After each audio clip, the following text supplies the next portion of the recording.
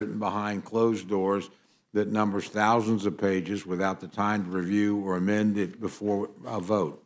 Today's hearing builds on the work we've done to demand change and move forward single subject appropriations bills. With H.R. 5994, the Labor, Health, and Human Services, Education, and Related Agencies Appropriations Act, we continue to make the hard choices to put our nation on a better path forward. The bill directs the valuable taxpayer dollars where they can best impact constituents. It prioritizes research for novel medicines that can save and transform lives. It invests in the well-being and education of the most precious among us, our nation's children. And it supports telehealth in our rural communities, the sanctity of life, and America's fight against addiction. I'm confident we'll hear more on these important priorities from our witnesses today. I'll note uh, it's not the only task ahead of us. I made clear our fiscal challenges above, uh, and I, we've made significant progress on our 12 appropriations bills thus far, but the job is certainly not yet done.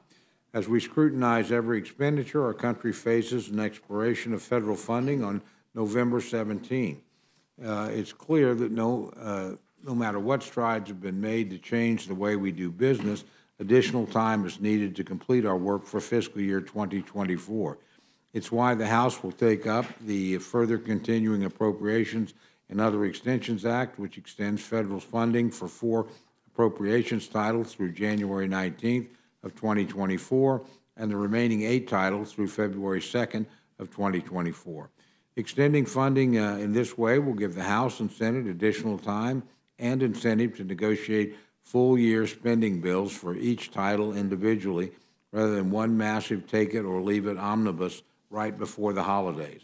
Extending the previous year's funding is never an ideal way to govern, but the alternative is even worse. We owe it to our constituents to keep the government open and operating to continue to provide them with the services they need and deserve. This bill will accomplish that goal and will ensure that Congress has sufficient time to reach agreement on final appropriations bills covering the rest of fiscal 2024. I'll now yield uh, to my very good friend, our ranking member, Mr. McGovern, for any remarks he wishes to make. Well, thank you, Mr. Chairman. Um, it's good to see you. Um, you know, in the last two weeks, both the Transportation, Housing, and Urban Development and the Financial Services Appropriation bills were pulled from the floor because Republicans didn't have the votes. The agriculture bill failed floor passage and is uh, considered all but dead. In fact, all five of the GOP's remaining appropriation bills have major issues. The ones we're considering this week have never been marked up in committee, and I hear it's likely that they too may fail. I don't call that regular order, I call that regular disorder. Uh, the way this place is being run is so far beyond incompetent. My Republican friends are trying to convince us to pass bills that they can't even convince themselves to pass. I mean, forget about bipartisan. These bills aren't even partisan. They're hyper-partisan. They're so awful they can't even get their own members to agree. Let's look first at H.R. 5894, the Labor, Health, and Human Services Education and Related Agencies Appropriation Act. It is a disaster. It, it drastically underfunds public schools and slashes teachers' jobs. It stifles life-saving medical research and cuts programs that support maternal and child uh, health. Of course, like all their other appropriation bills, it contains a litany of MAGA culture war anti abortion riders. Let me give the other side a little free advice. I don't know how many times I have to say it. The American people want you to stop trying to tell women what they can do, what they can do with their bodies. At the ballot box in Congress and state legislatures, they just want you to stop. Pay attention to last week's elections in Ohio. Pay attention to every single time in every single state where abortion has been on the ballot. And not just in blue states. I'm talking about Kentucky, Kansas, Montana. Every single time Americans have said they want these decisions to be between women and their doctors, not women and Republican politicians. Yet here we are with another MAGA messaging bill that strips away abortion rights from women. It's just nuts. And Democrats, once again, will continue to stand up to these Republican attempts to ban abortion nationwide. We are also here today to consider House Republicans' CR, a last minute Hail Mary the new speaker threw together because he too has realized that the other plan to jam through each unpopular appropriations bill one at a time won't work. This CR creates a bizarre bifurcated approach, setting up two separate CR deadlines that will only make a future shutdown more likely. To be clear, they aren't kicking one can down the road, you're kicking two cans. And while we are, are talking about numbers, remember, we wasted three weeks without a speaker while extreme MAGA Republicans fought with regular MAGA Republicans about who should be speaker. Then more, then more weeks wasted trying and trying and failing to ram the remaining spending bills through the House, bills that will never, ever, ever become law. And the truth is, we are right back where we started at the end of September because Republicans cannot govern. They have made clear that in a divided government, they will refuse to work with anyone outside their conference. Same circus, new ringmaster. And this CR is just a perfect, a perfect example of that. It fails to include critical supplemental help for our allies abroad, like Israel and Ukraine, or direly needed humanitarian assistance, provisions widely supported in the Senate and by the White House. Most egregious in my mind is there's no additional funding for WIC in this CR to help ensure that we can feed hungry mothers, children, and infants. This bill shortchanges the program, and we need to make the program whole as soon as possible to avoid wait lists for benefits. Everybody up here has people in their district who rely on this basic nutrition program. Pregnant mothers, so they can deliver healthy children. Young kids who don't know where their next meal will come from babies. I can't imagine why it would be controversial to make sure WIC has proper funding. We need to make this commitment, we, we need to make this commitment to, to pregnant and postpartum moms and their young families. We need, we need to make this commitment right now. So I hope that by some miracle, we don't shut down. But the truth is, House Republicans just aren't capable of governing. They are a minority party pretending to be a majority party full of people who want to scream and yell and complain, but not actually get anything done. I think half the GOP would rather be in the minority so they can go back to voting no on everything and keep complaining and complaining about how broken this place is when they're the ones who broke it. With that, Mr. Chairman, I yield back.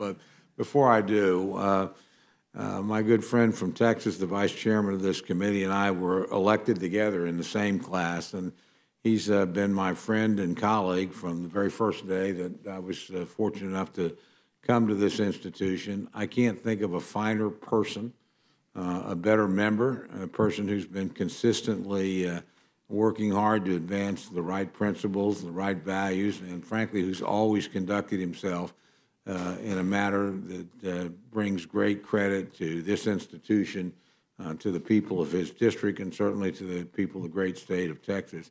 And Mike, we're going to squeeze every drop out of you in the next 13 months.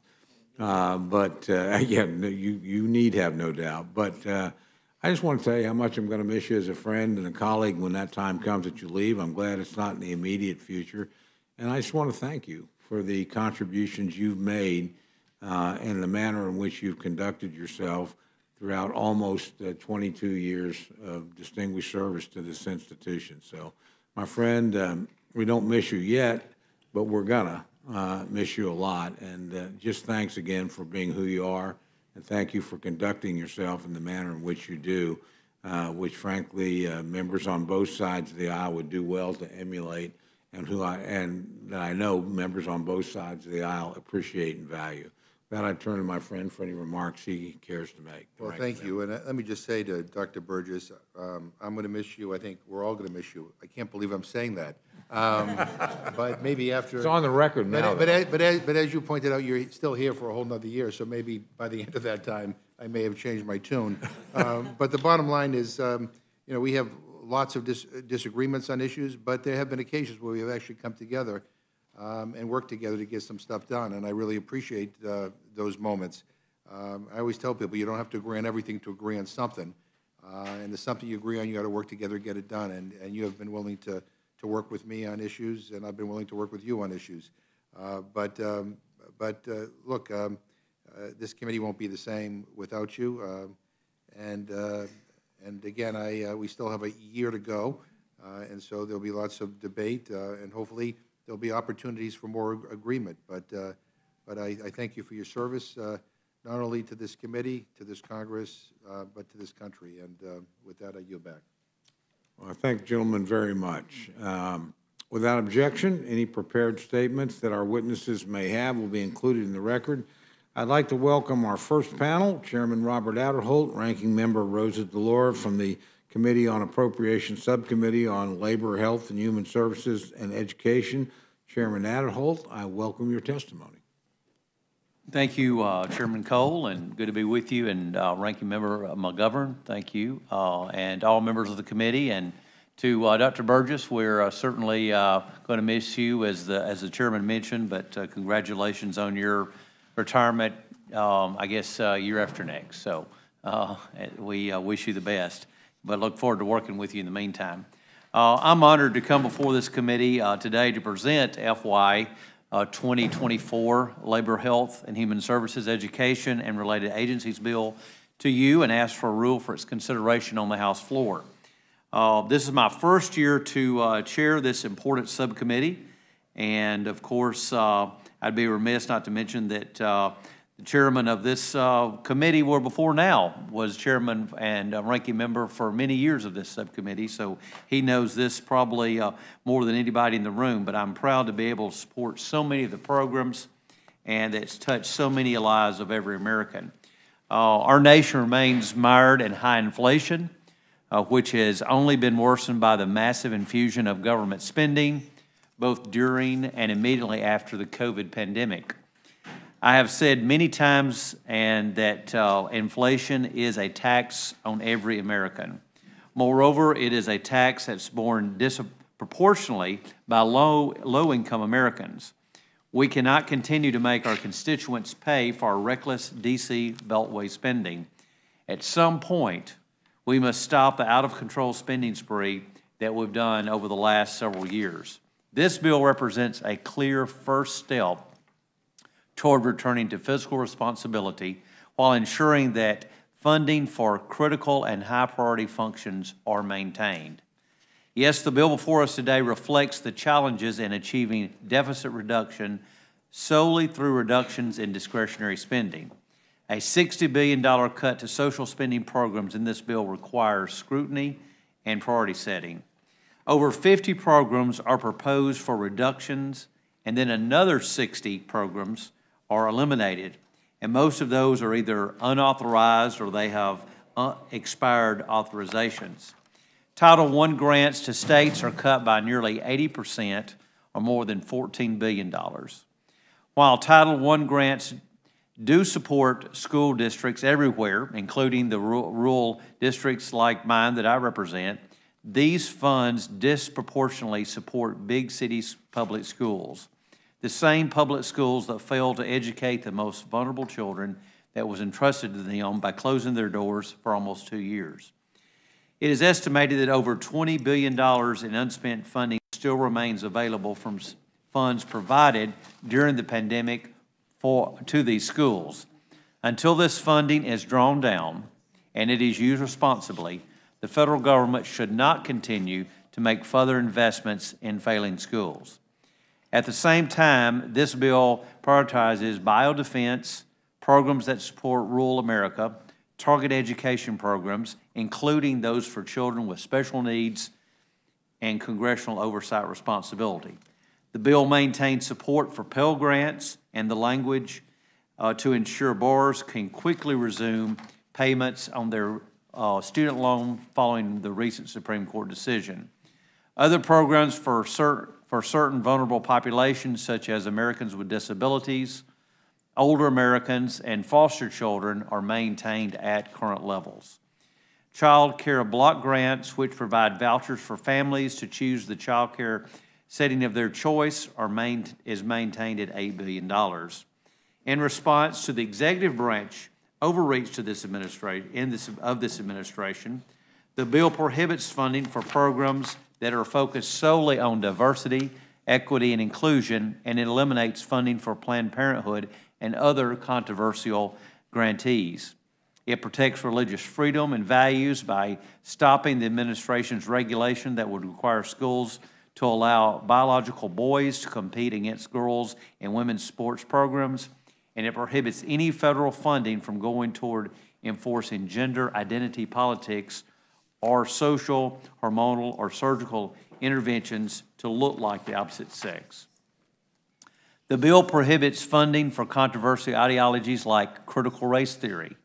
These radical views do not belong in the public schools. Schools should be teaching our children how to think, not what to think. The bill maintains the longstanding Hyde Amendment to ensure that taxpayer funds are not used for abortion on demand and that no one is forced to participate in an abortion or refer to one under federal programs. The bill also makes sure that taxpayer funds are not used to circumvent state laws restricting access to abortion and ensures that federal re research funds are not used on human fetal tissue obtained from an elective abortion. The bill that is before us also includes provisions preventing this administration from moving forward with job killing regulations relating to independent contractors, joint employer status, and federally forced wage rates for agricultural workers. The administration's regulatory agenda is stifling small business, which should be incubators for innovation. To protect against future man made pandemics, the bill prohibits any funding from going to EcoHealth Alliance, the Wuhan Institute for Virology, and any lab located in Russia or in China. The bill prohibits funding from being used for any gain of function research, as was being done on bat, uh, on, on, bat uh, coronavirus prior to the uh, COVID pandemic, and it prohibits enforcement of the CMS COVID vaccine mandate on healthcare workers. In closing, of course, in addition to thanking the uh, chair of this uh, uh, Appropriations Committee, Chairman Granger, I want to also thank my fellow subcommittee members and their staff for all their hard work uh, over uh, the last year. Also, a special thanks to the Labor, Health, and Human Services and Education Subcommittee staff who have gone beyond the call of duty, have done an exceptional job in crafting the bill that's before us today. And I would be happy to take any questions that the panel has as we move forward. Thank you, and I yield back. Thanks. Uh, we'll uh, next go to my good friend, the ranking member of the Full Appropriations Committee, as well as the ranking member of the Labor, uh, Health and Human Services uh, and Education Subcommittee, uh, the gentlelady from uh, Connecticut, Ms. DeLauro. Okay. Thank you so much, Mr. Chairman. And what I want to try to do is to address the Labor HHS subcommittee um, a bill and as well as the continuing resolution, but I'll start with Labor HHS. And I, I want to congratulate Chairman Aderholt, his first bill as chairman of the subcommittee. Um, uh, and uh, I want to say a thank you to the minority staff, to Stephen Steigleder, Philip Tizani, Laurie Mignon, Jackie Kilroy, uh, for all of their hard work. Uh, and also to the majority staff, Susan Ross, Catherine Salmon, James Redstone, Emily Goff, and Laura Stagno. You've heard me say many times, Mr. Chairman, that um, um, they keep our names on the door. Uh, they really are really first rate, and I thank them very, very much. Um, uh, I have never seen an appropriations bill quite like this one. I have never seen a bill that was this inhumane and which defies all of the values and ideals of a society which promises to address the needs and the challenges of its people.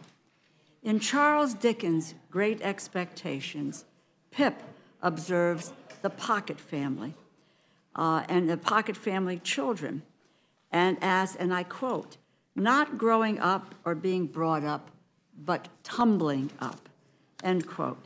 This bill leaves America's children tumbling up. This bill is the largest domestic appropriation bill, and for good reason. The programs funded in labor, health, and human services and education ensure our workforce is strong, our families are healthy and safe, and our children's future is secure. Indeed, in the last Congress, we passed a labor HHS bill that supported middle class and working families, lifted up vulnerable Americans, and prepared our nation for future crises. Which makes it even more disappointing to see where we have ended up in this year's process. The majority's 2024 Labor, Health, and Human Services and Education bill and its 28% cut of $64 billion brings us back to a level unseen since 2008. It heralds their intent to end public education in the United States. This bill eliminates the present and future job opportunities for young adults, for seniors, for working families, and it jeopardizes maternal, pediatric, and public health.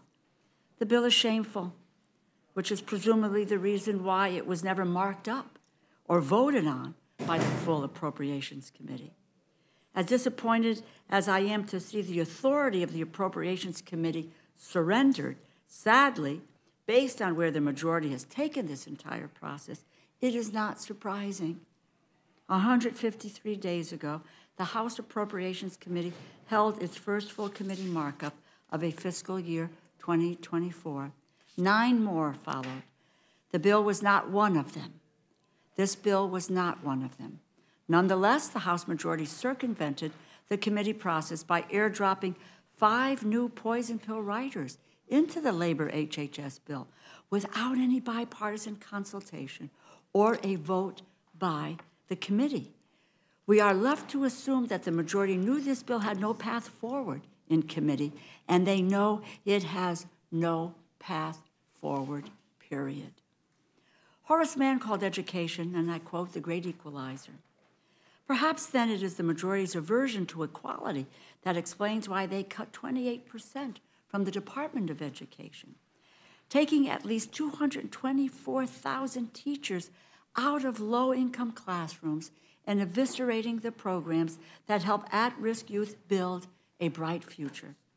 This cut would entail a loss of 3,700 teachers in Alabama, 800 teachers in Idaho, 4,400 teachers in Maryland, 4,300 teachers in Tennessee, 6,500 teachers in Michigan, 5,000 teachers in Louisiana, 8,300 teachers in Georgia, 1,500 teachers in Kansas, 22,300 teachers in Texas, and 4,400 teachers in Arizona. I am deeply concerned about the impact such a colossal retraction from public education funding would have on children across this country. This bill tells the story of where the majority seeks to take this country. Republicans have made it clear they are opposed to public education, and they seek to destroy it. Quality education will no longer be accessible to working families, but the purview of the rich. I must underscore that point. This is no messaging bill. This is their, quote, commitment with America, end quote. I am taking Republicans at their word, as should all of the American people. This is what they want to do. When 161 House Republicans voted earlier this year to eliminate all K 12 funding at the Department of Education in the Massie Amendment to H.R. 5, I was horrified. But that was only the beginning. House Republicans are in lockstep behind the most extreme ideologues in their party. Just this summer, former Secretary of Education Betsy DeVos penned an op ed calling to eliminate the Department of Education.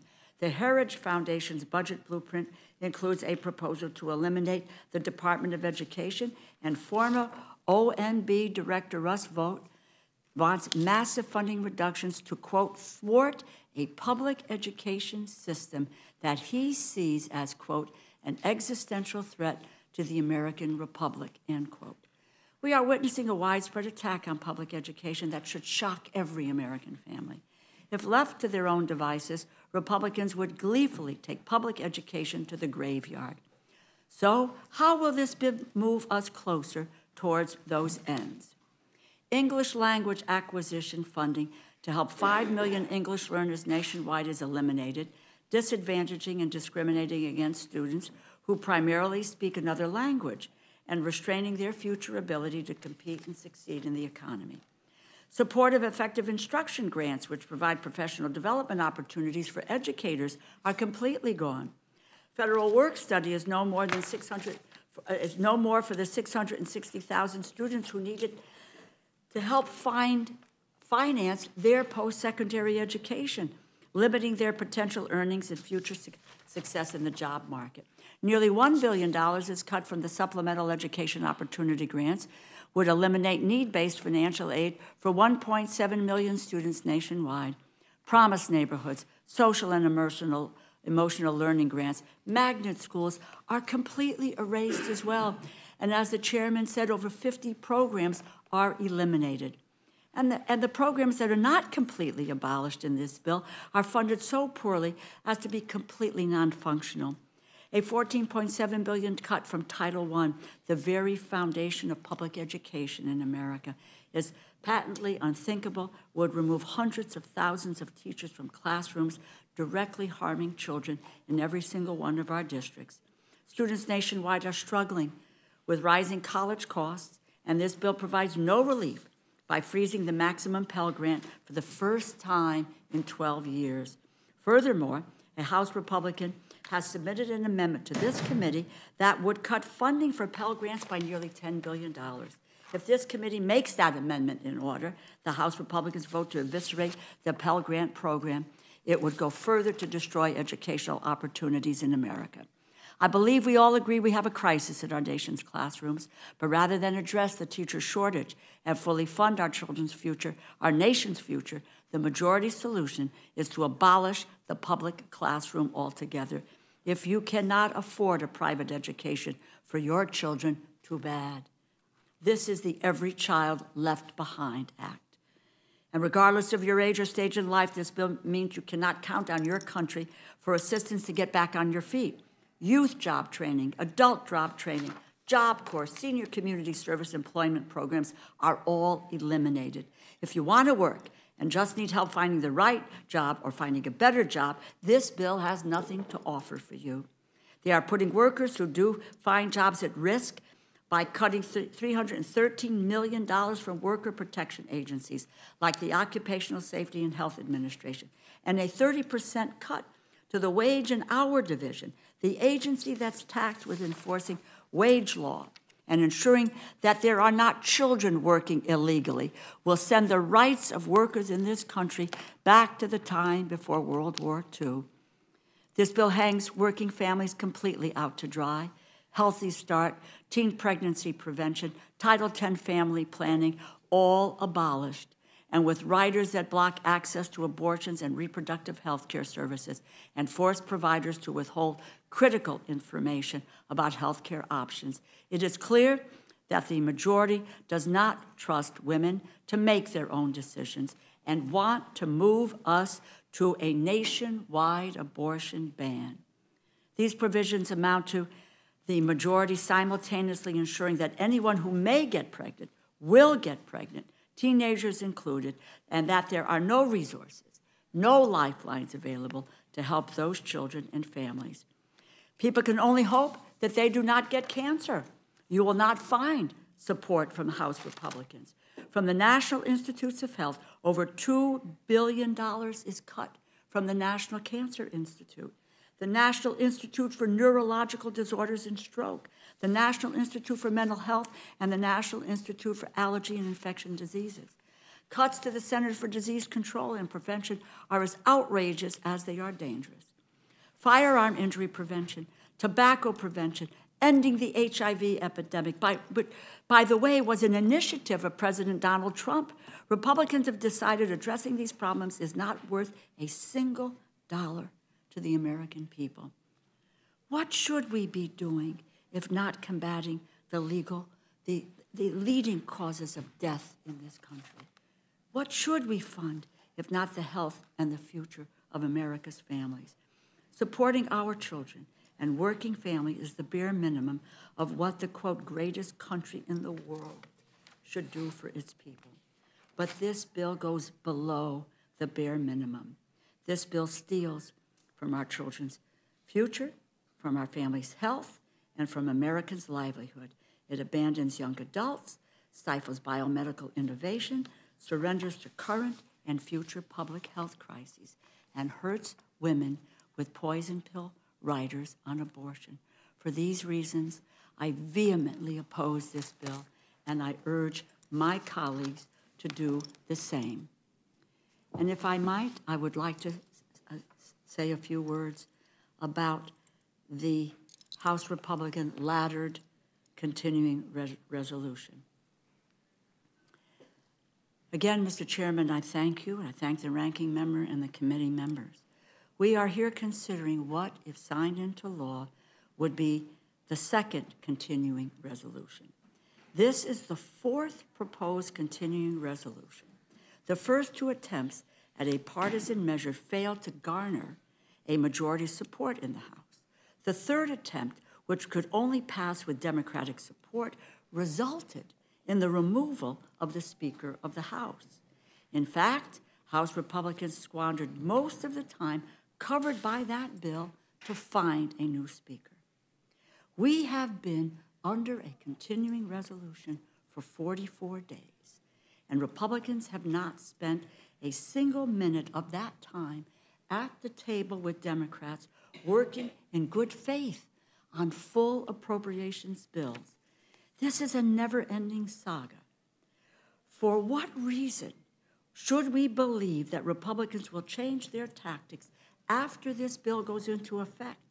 Unless we are to embrace sequestration, which I know some members of this committee are enthusiastic about. House Republicans must begin negotiating a true top line right now. 153 days ago, the House Appropriations Committee held its first full committee markup of a 2024 bill. Nine more followed. We still await the fate of two bills labor, health and human services and education, and commerce, justice, science. Again, they never came to the full committee for deliberation. But the majority plans to consider those bills on the House floor despite never considering a vote on them in the committee, never marked up. This is out of the regular order.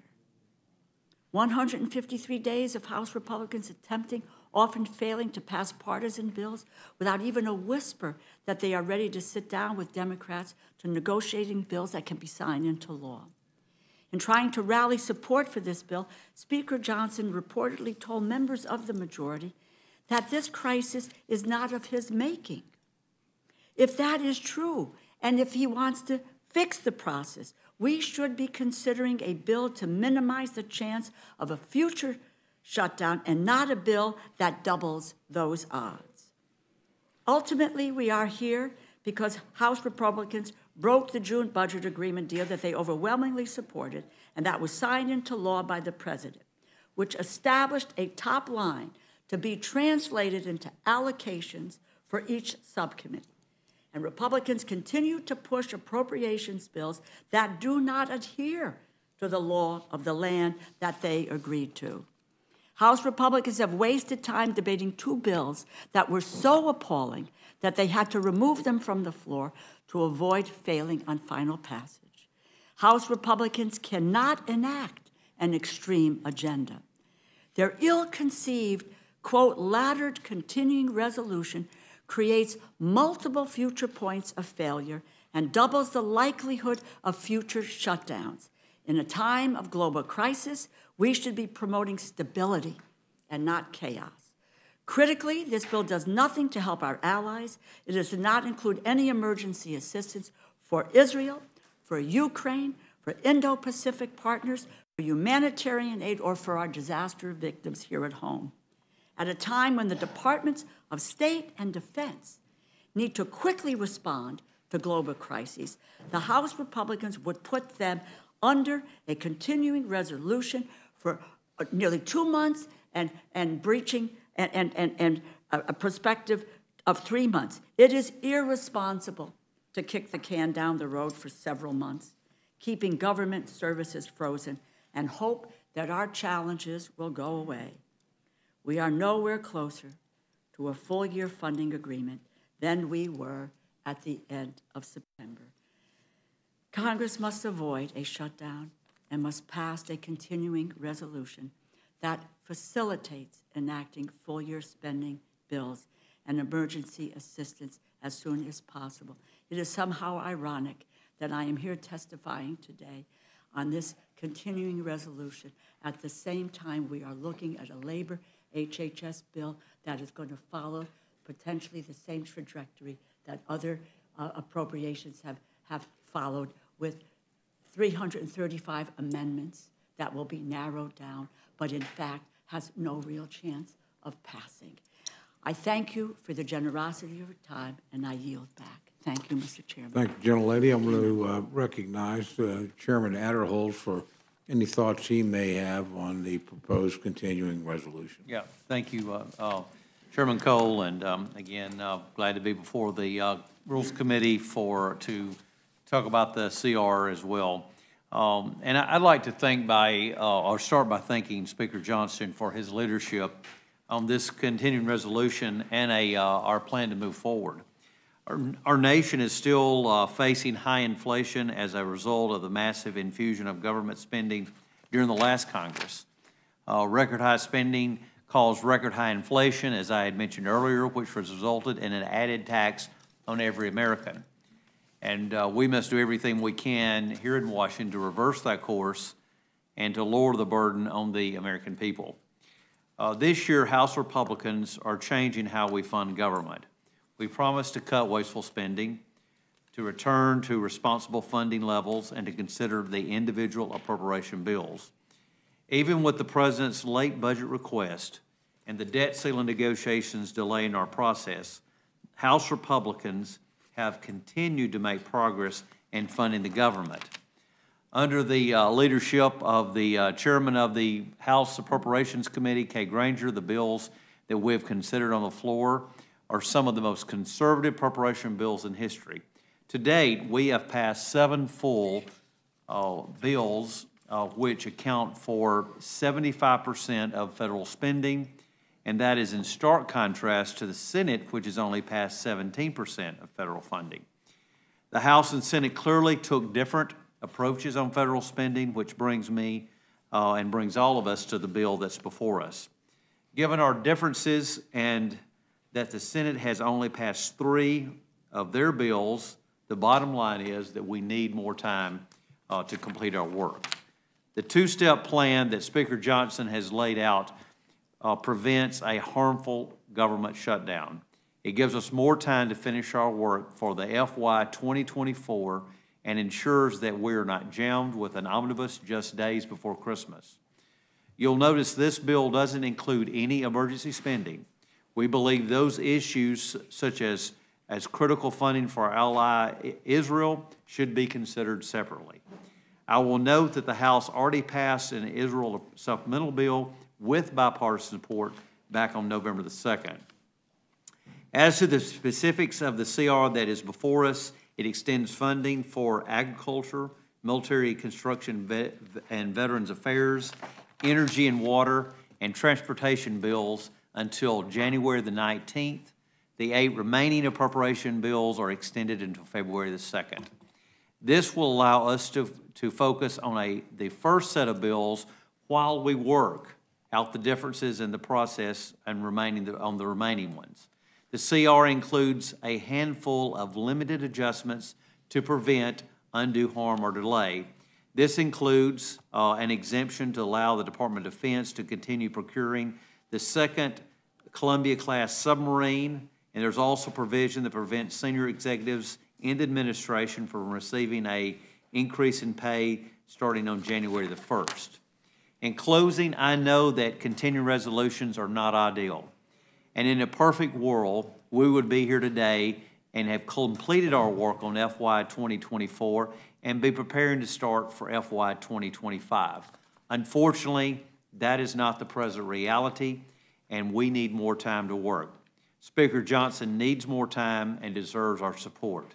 This CR keeps the government open and serving the American people while we work on the full-year bills that reflect our conservative priorities. I urge my colleagues to join me in supporting this bill. Thank you, Mr. Chairman. Thank you, Ranking Member, members of the committee, and I yield back the balance of my time. Thank you very much. Uh, Since the chair sat for many years with the ranking member on this bill, and as my good friend Chairman Aderholt noted, uh, I know it fairly well. I think I'll withhold my questions for now uh, in the interest of time. And so, uh, Dr. Burgess, uh, we'll go to you for any questions you might have for our witnesses. Thank you, Chairman. I think this is the first time we've had a labor HHS appropriations bill up here in a long time. a while. It's been a while, hasn't it? That's why it, uh, it's worthy of, of note, and, and I appreciate you working on it and, and bringing it before the Rules Committee, because I think this is an important part of the process. I was- Chairman Aderholt, I was glad to hear you discuss the uh, holding back funding for gain-of-function research. This, um, as we work through the issues that have happened the last three or four years, this is one thing that continues to crop up, and certainly funding of gain-of-function research, certainly funding in adversarial nations is something that I think we need to look at extremely critically. So I'm grateful that you included that in your, in your discussion. I'm also uh, glad to see the uh, focus on programs that have not been reauthorized and how you're attempting to pull back uh, rather than just rubber stamp continued appropriations for unauthorized programs or programs whose authorizations have long expired. I am on an, on an authorizing committee. We do need to do our work. We need those programs that are valuable, we need to reauthorize, send them to the appropriations committee to be funded, and if they can't be demonstrated to be of value, then it is incumbent on the authorization committees to, to do that. But I don't know if you have any other thoughts on that, but I was glad to see you included that in your discussion today. Yeah.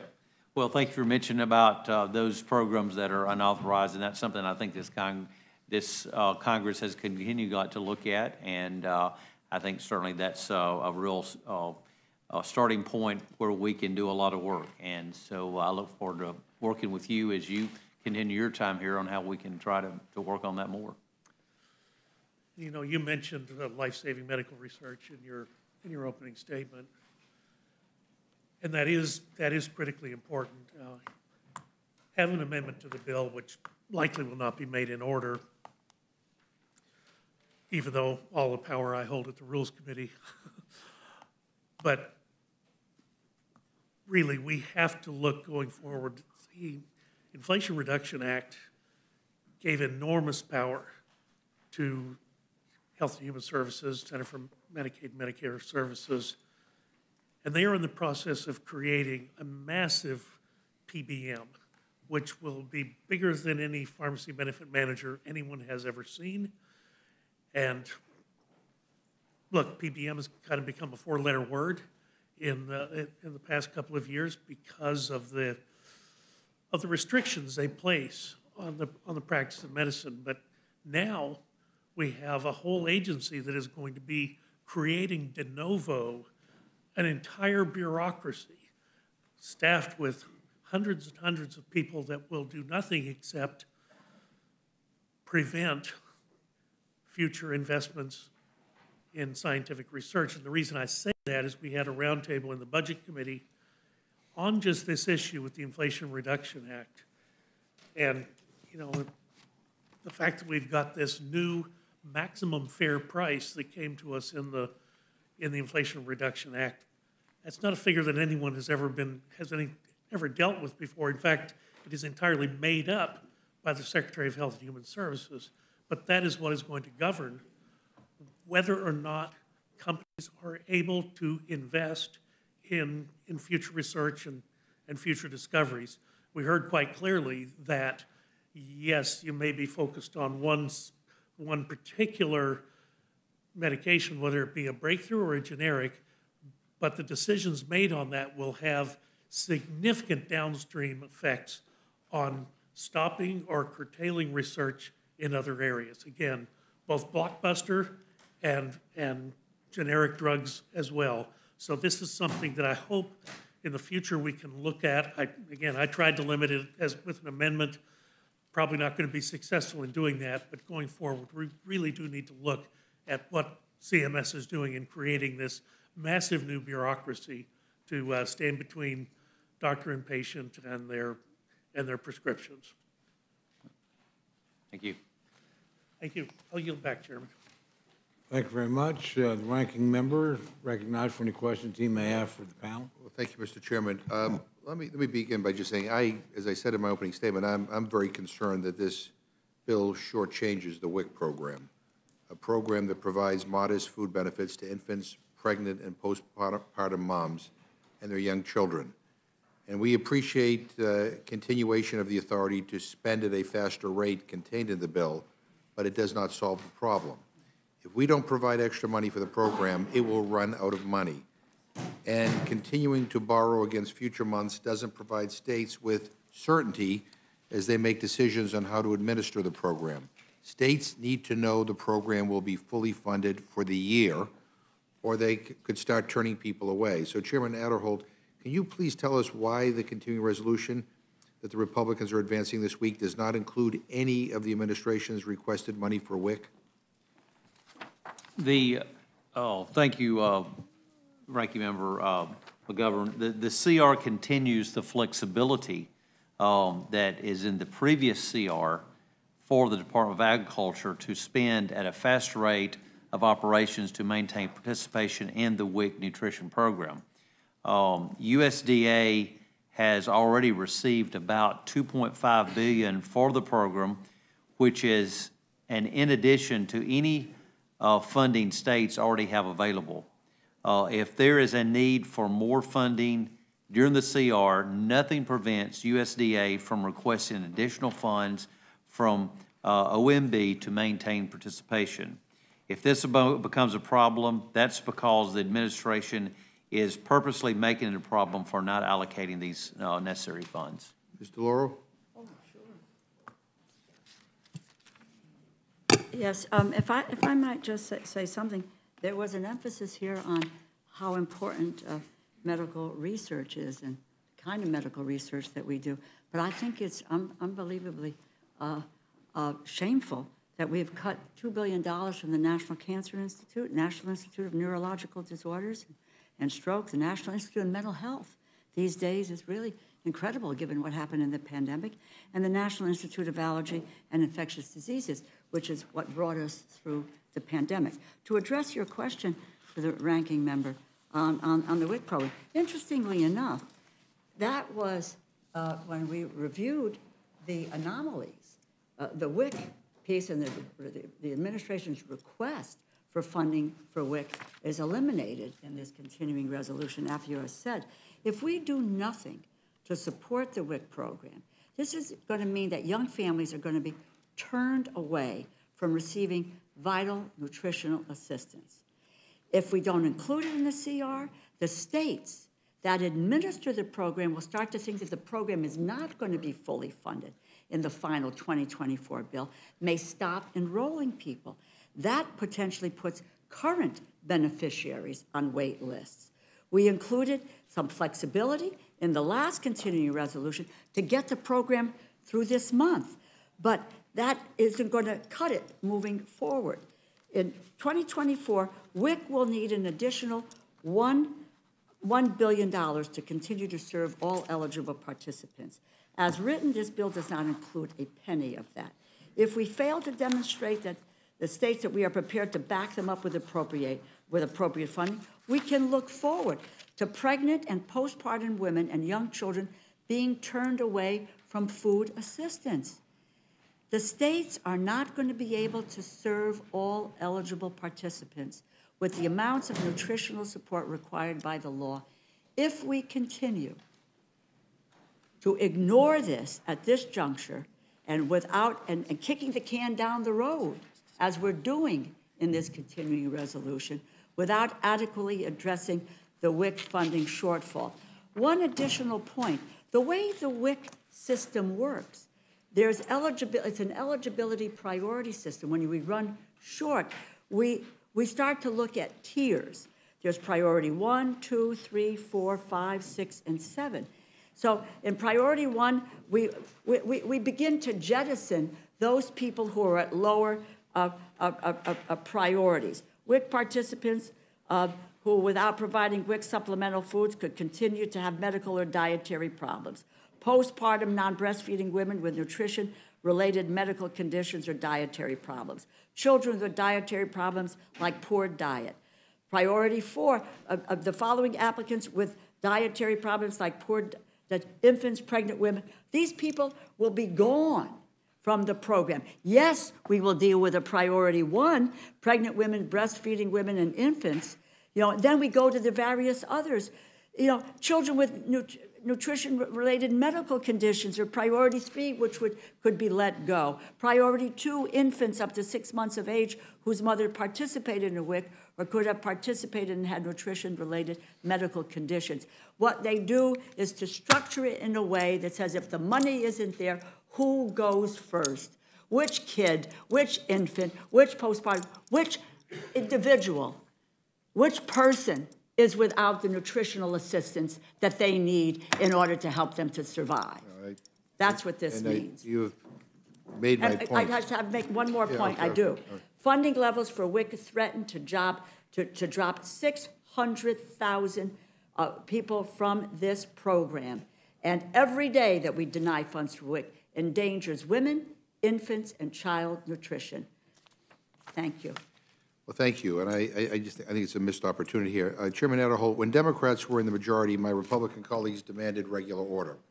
Uh, Now we continue to hear the Republican majority claim that they are proceeding with regular order, but it seems to be a different de- definition of what that term um, uh, means. Uh, And um, every week we hear a different definition. So I think we, all- we can, I think we can all agree, though, that skipping a full committee markup at the Appropriations Committee for initial floor consideration of a regular appropriations bill is highly unusual.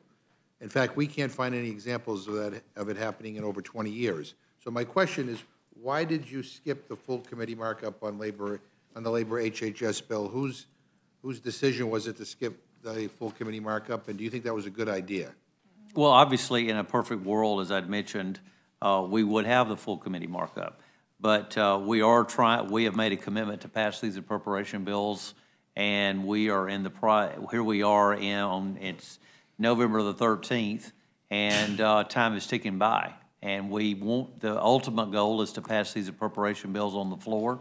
And uh, there is a a couple of bills that we have had to take directly to the floor, and this is one of them. But like I said, in a perfect world, you're right. Was, was it your idea to skip the full committee markup? I mean- This was a decision by the committee to move forward, how to move forward, and uh, we're, Were Democrats consulted in that, or was this just a Republican decision this, to? well, this was a, a decision basically by the, by the committee itself, by the, by the uh, leader, the, the chairwoman uh, Granger, uh, to, to do it this way, but I- there was no objection for me because I felt like we need to move forward with these bills. And as you know, under our rules, when we were doing appropriation bills, you cannot be on the House floor debating appropriation bills while you're also in committee, because the members of the appropriations committee have to be on the floor uh, to debate the appropriation bill that's been debated.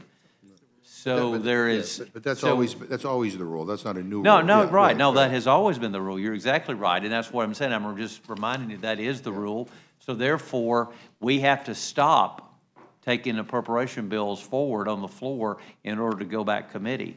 So in order to expedite the, expedite the process, and I think you would agree, we need to try to get these appropriation bills in regular order, and, uh, But but this is not regular, Ms. DeLauro, were you consulted at at all, or Did you know about this, or? No, we- we, we only were told that this was going to happen, but in addition to that, as I mentioned in my opening remarks, the, um, uh, there were, they airdropped five new poison pill riders into the labor HHS bill.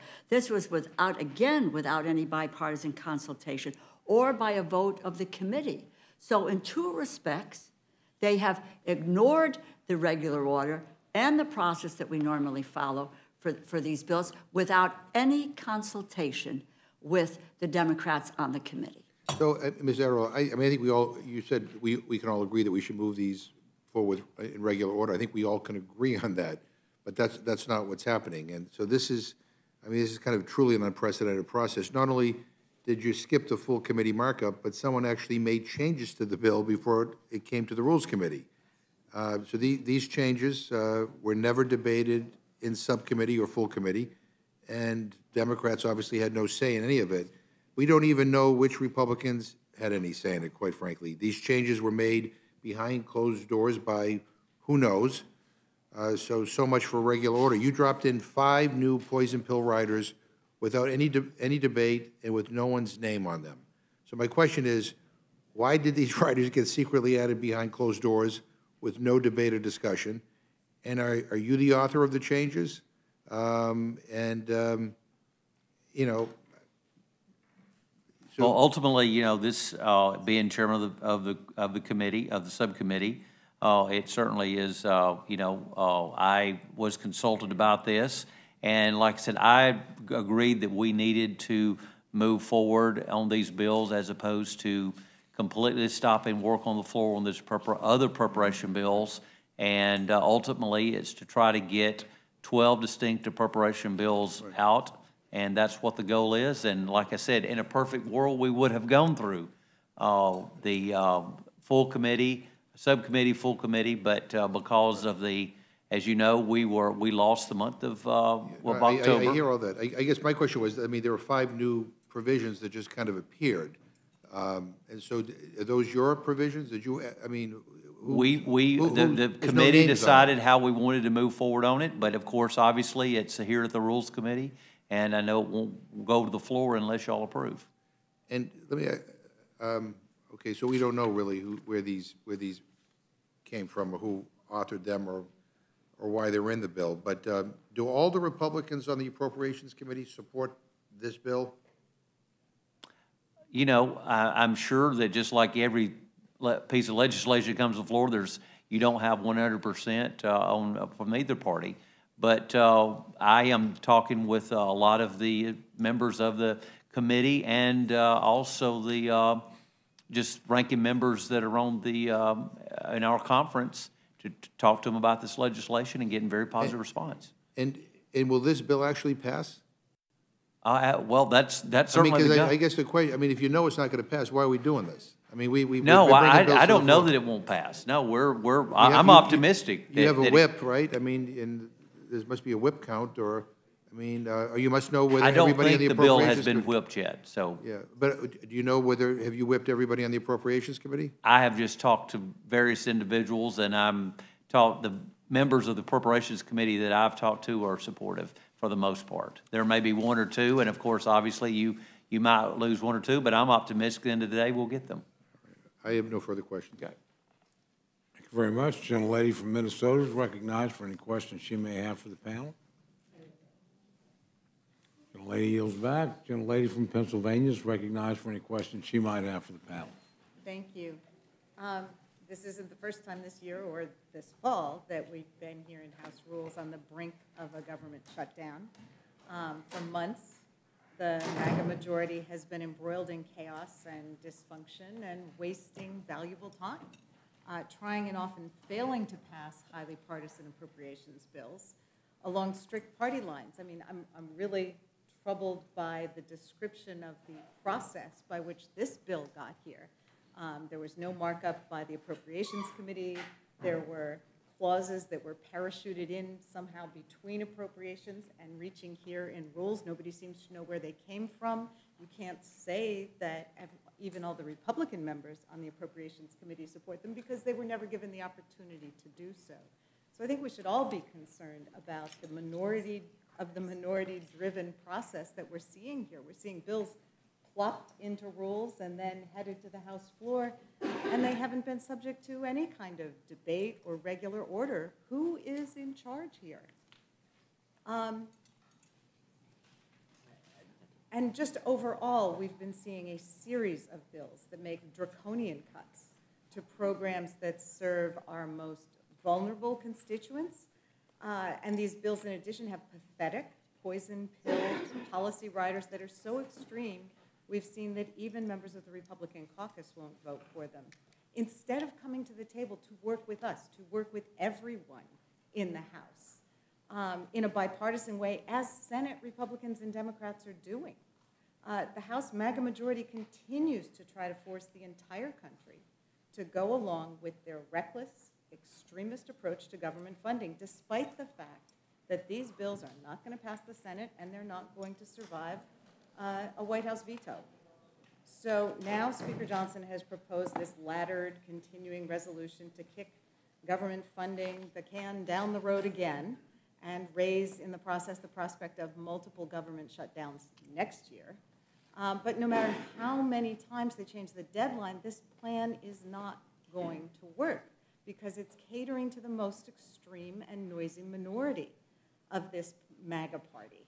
Um, and by using tactics that really undermine a lot of cherished American values and expectations, the bills that, that they've been insisting on bringing to the floor are outrageous attempts to insert culture wars into every aspect of American life.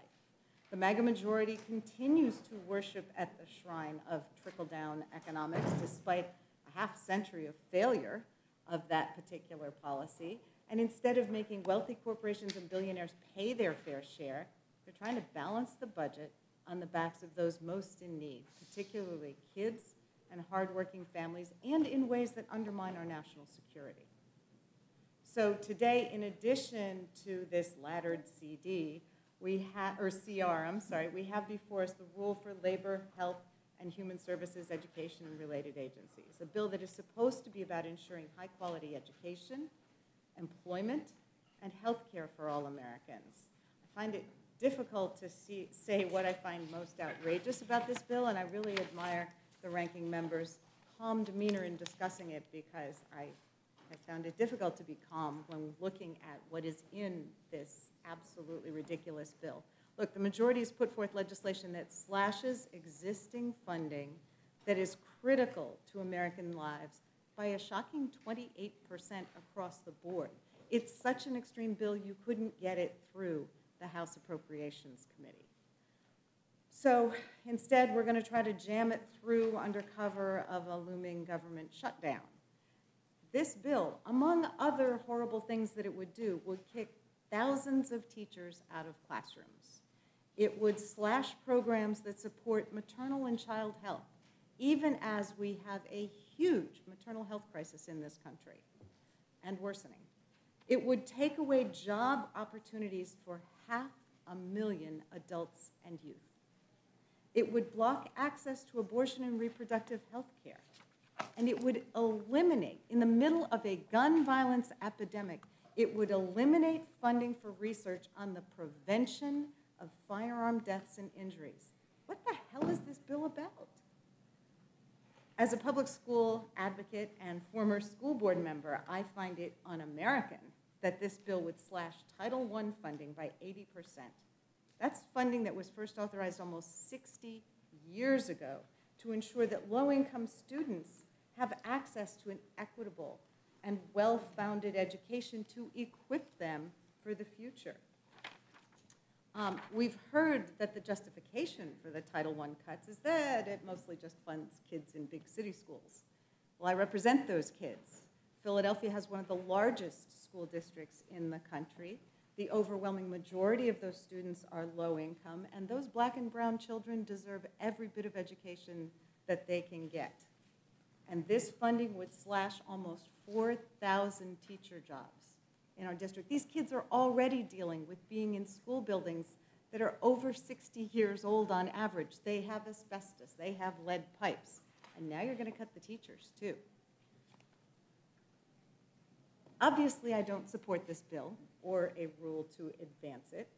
Um, I, it also is going to slash Head Start, which study after study after study shows has a return on investment that can be documented in terms of cutting future costs for special education, allowing kids who participate in the program to be higher earners and therefore contribute back to the tax base. So um, I, I just find all of this um, cutting to programs that have proven success because there's an unwillingness to tax billionaires is just outrageous.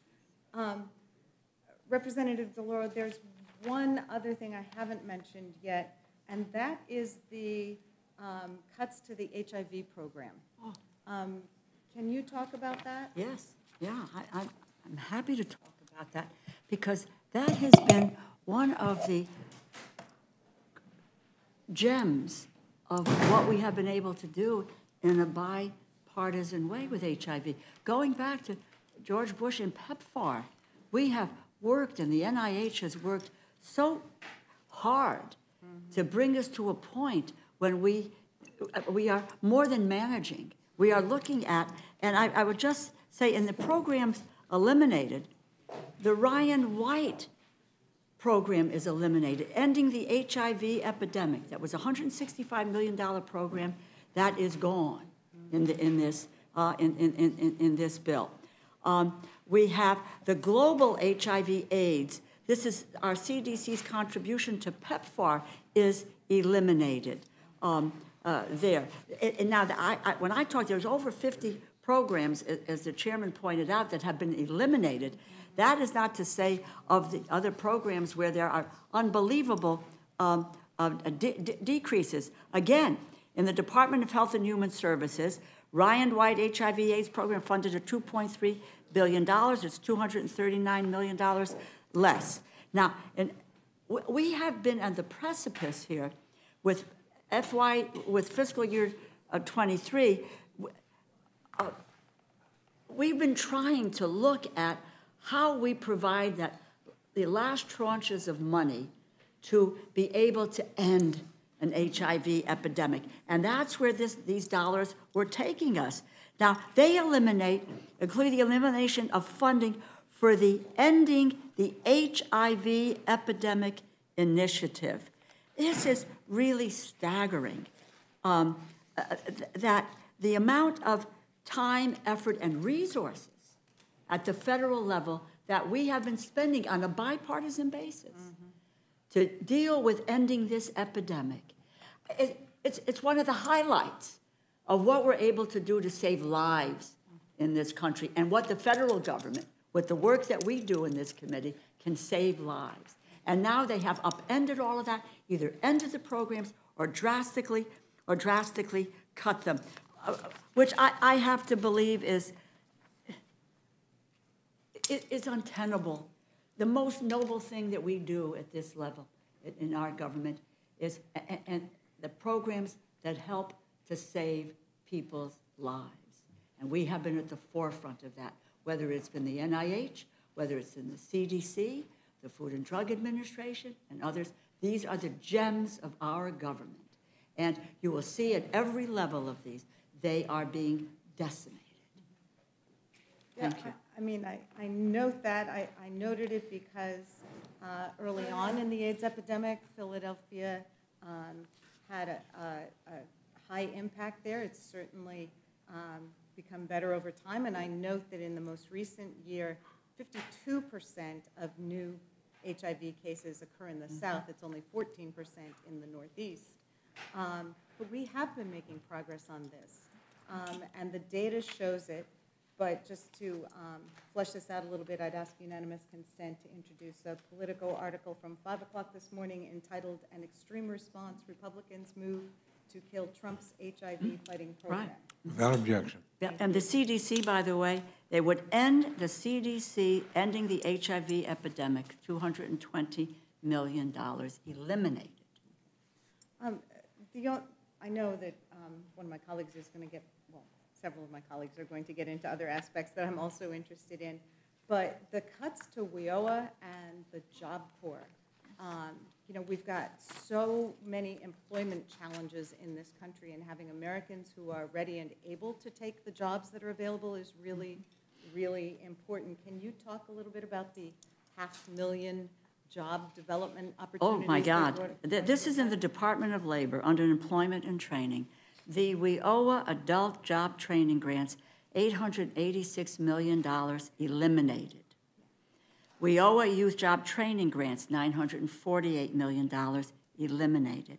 Job Corps eliminated $1.8 billion. The Women's Bureau, uh, which they've totally eliminated the, the, the, the- the women's, the Women's Bureau. This says nothing of where, the- you know, we're, we're, we're, we're looking at, um, in, in, in, in, in labor, um, the worker protection agencies are cut significantly back. I mentioned wage and hour, which deals with child labor. Uh, uh, OSHA cut back. So I, what I set out to say was that in every aspect of a per- person's life, their health, their employment capability, uh, uh, their educational opportunities. This bill has systematically, systematically pulled back from education, from, from, from, from, from, from health, and from employment and opportunity. I, I don't know how to say this best. Our job here is to make the federal government provide opportunities for people to help deal with the challenges in their lives. That is the potential of this institution. And we have followed that, and in many, many instances, on a bipartisan basis. We are looking at the elimination of public education in this country. We are denying the people the opportunity to be able to get employment, to have a job, both with education and with the jobs themselves. And we are uh, uh, putting their health at grave risk with every step of the way in this piece of legislation. I I mean, just reviewing it, it appears to be remarkably destructive. Um, The last thing I wanted to mention, I have 19 colleges in my district, and this bill would block student loan repayment regulations to implement student, in- income-based student loan repayment. And it would also eliminate, so many of these programs are just eliminating, not just cutting. Right. It would eliminate um, work-study programs in colleges. So um, I just, you know, yet another reason I can't support this bill. And with that, I yield. Can I, can I respond? Uh, yeah, Just, uh, I, uh, thank you for your comments. Um, I take it, other than the things you mentioned, it's a pretty good bill. Uh, No, I was trying not to abuse Oh, my okay. time. Oh, here. okay, all right. But I do want to clarify, you, you asked about the changes to the bill. Uh, Those, those, those changes that came forward came from our subcommittee uh, members. The, the changes that occurred. That changes the curve between from the time they came appropriations and when to, it it came landed to here here. to the, yes. Republican men. Okay, yes. yeah, it wasn't put before the whole committee. No, it wasn't, but of obviously, and, and so, I mean, I, you know, I, I approve these changes, trying to hopefully get in a bill that would, that would pass the floor. But, uh, let me say, I know that ultimately, any changes that were agreed upon are ultimately going to have to be voted on the floor. Right. So there's nothing that's going to be uh, in this bill that will not be passing the floor. And, uh, and also you mentioned uh, eh, this being coupled with the CR to try to get it through. You know, this will be a standalone bill, so we will not be piggybacking on the CR. This will be a standalone bill in addition to the CR. I'm just here discussing this as, in my role, not as Not trying to put these. responsibility Not, the not, CR. no, not putting these two bills together for one. It'll, they'll be two No, distinct bills. Yeah. It's two separate bills. Okay. One gives I didn't, I, I, I didn't want to get the impression that Sorry. These bills were, were, were paired together so that for passage of the Labor H and a CR, these are two different Just for purposes of the rule. I understand. Thank you. I yield back. Gentlelady yields back. Chair thanks the gentlelady. Chair recognizes the gentleman from South Carolina. Thank you, Mr. Chairman. Uh, Thank y'all for appearing. Congressman Aderholt, um, I think the good provisions in this, this bill eliminate 61 programs. Including 49 that were never authorized. Uh, Reduced funding for 54 other programs. Prohibits funds to promote or advance CRT uh, and implement the Biden administration's executive orders on diversity, equity, and inclusion. Um, Maintains the bipartisan Hyde Amendment and stops any funding for abortions in this, prioritizes medical research. What is the thought process that went into, I notice it does not defund mask or vaccine mandates? Oh, well, it, it, it, uh, when you, when you say as far as uh, doing away with the mask mandate, of course, obviously, that was a big issue back a couple of years ago. Uh, and uh, I know there was a lot of great concern about that, but with the way that COVID is now and under control, I'm, I'm not really, it was not brought to my attention that that's been a real critical issue that need to be addressed in the bill, but uh, obviously, if, you know, we're always open to how to make this bill better, and certainly would look, be willing to work with you any way we can try to address that. You know, I noticed my good friends from the left, they never talk about any, any cuts on anything. It's always more Okay. spending.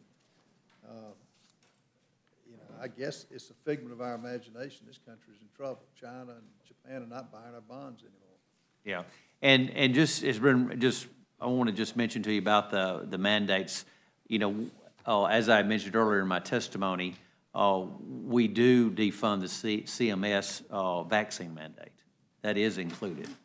Uh, and, um, and as far as I understand, there's no other federal mandates that are, uh, concerning masks or COVID exist right now. So that was why there was not a need to it. But again, if there's something that we have overlooked, we're certainly happy to look at it. They've always, you know, they've talked about the Biden administration coming up with another COVID too and having plans to implement that at some point. Uh, thank you for your work on this, and, uh, I yield back, Mr. Chairman. Chair thanks the gentleman. Chair recognizes the gentleman from Texas.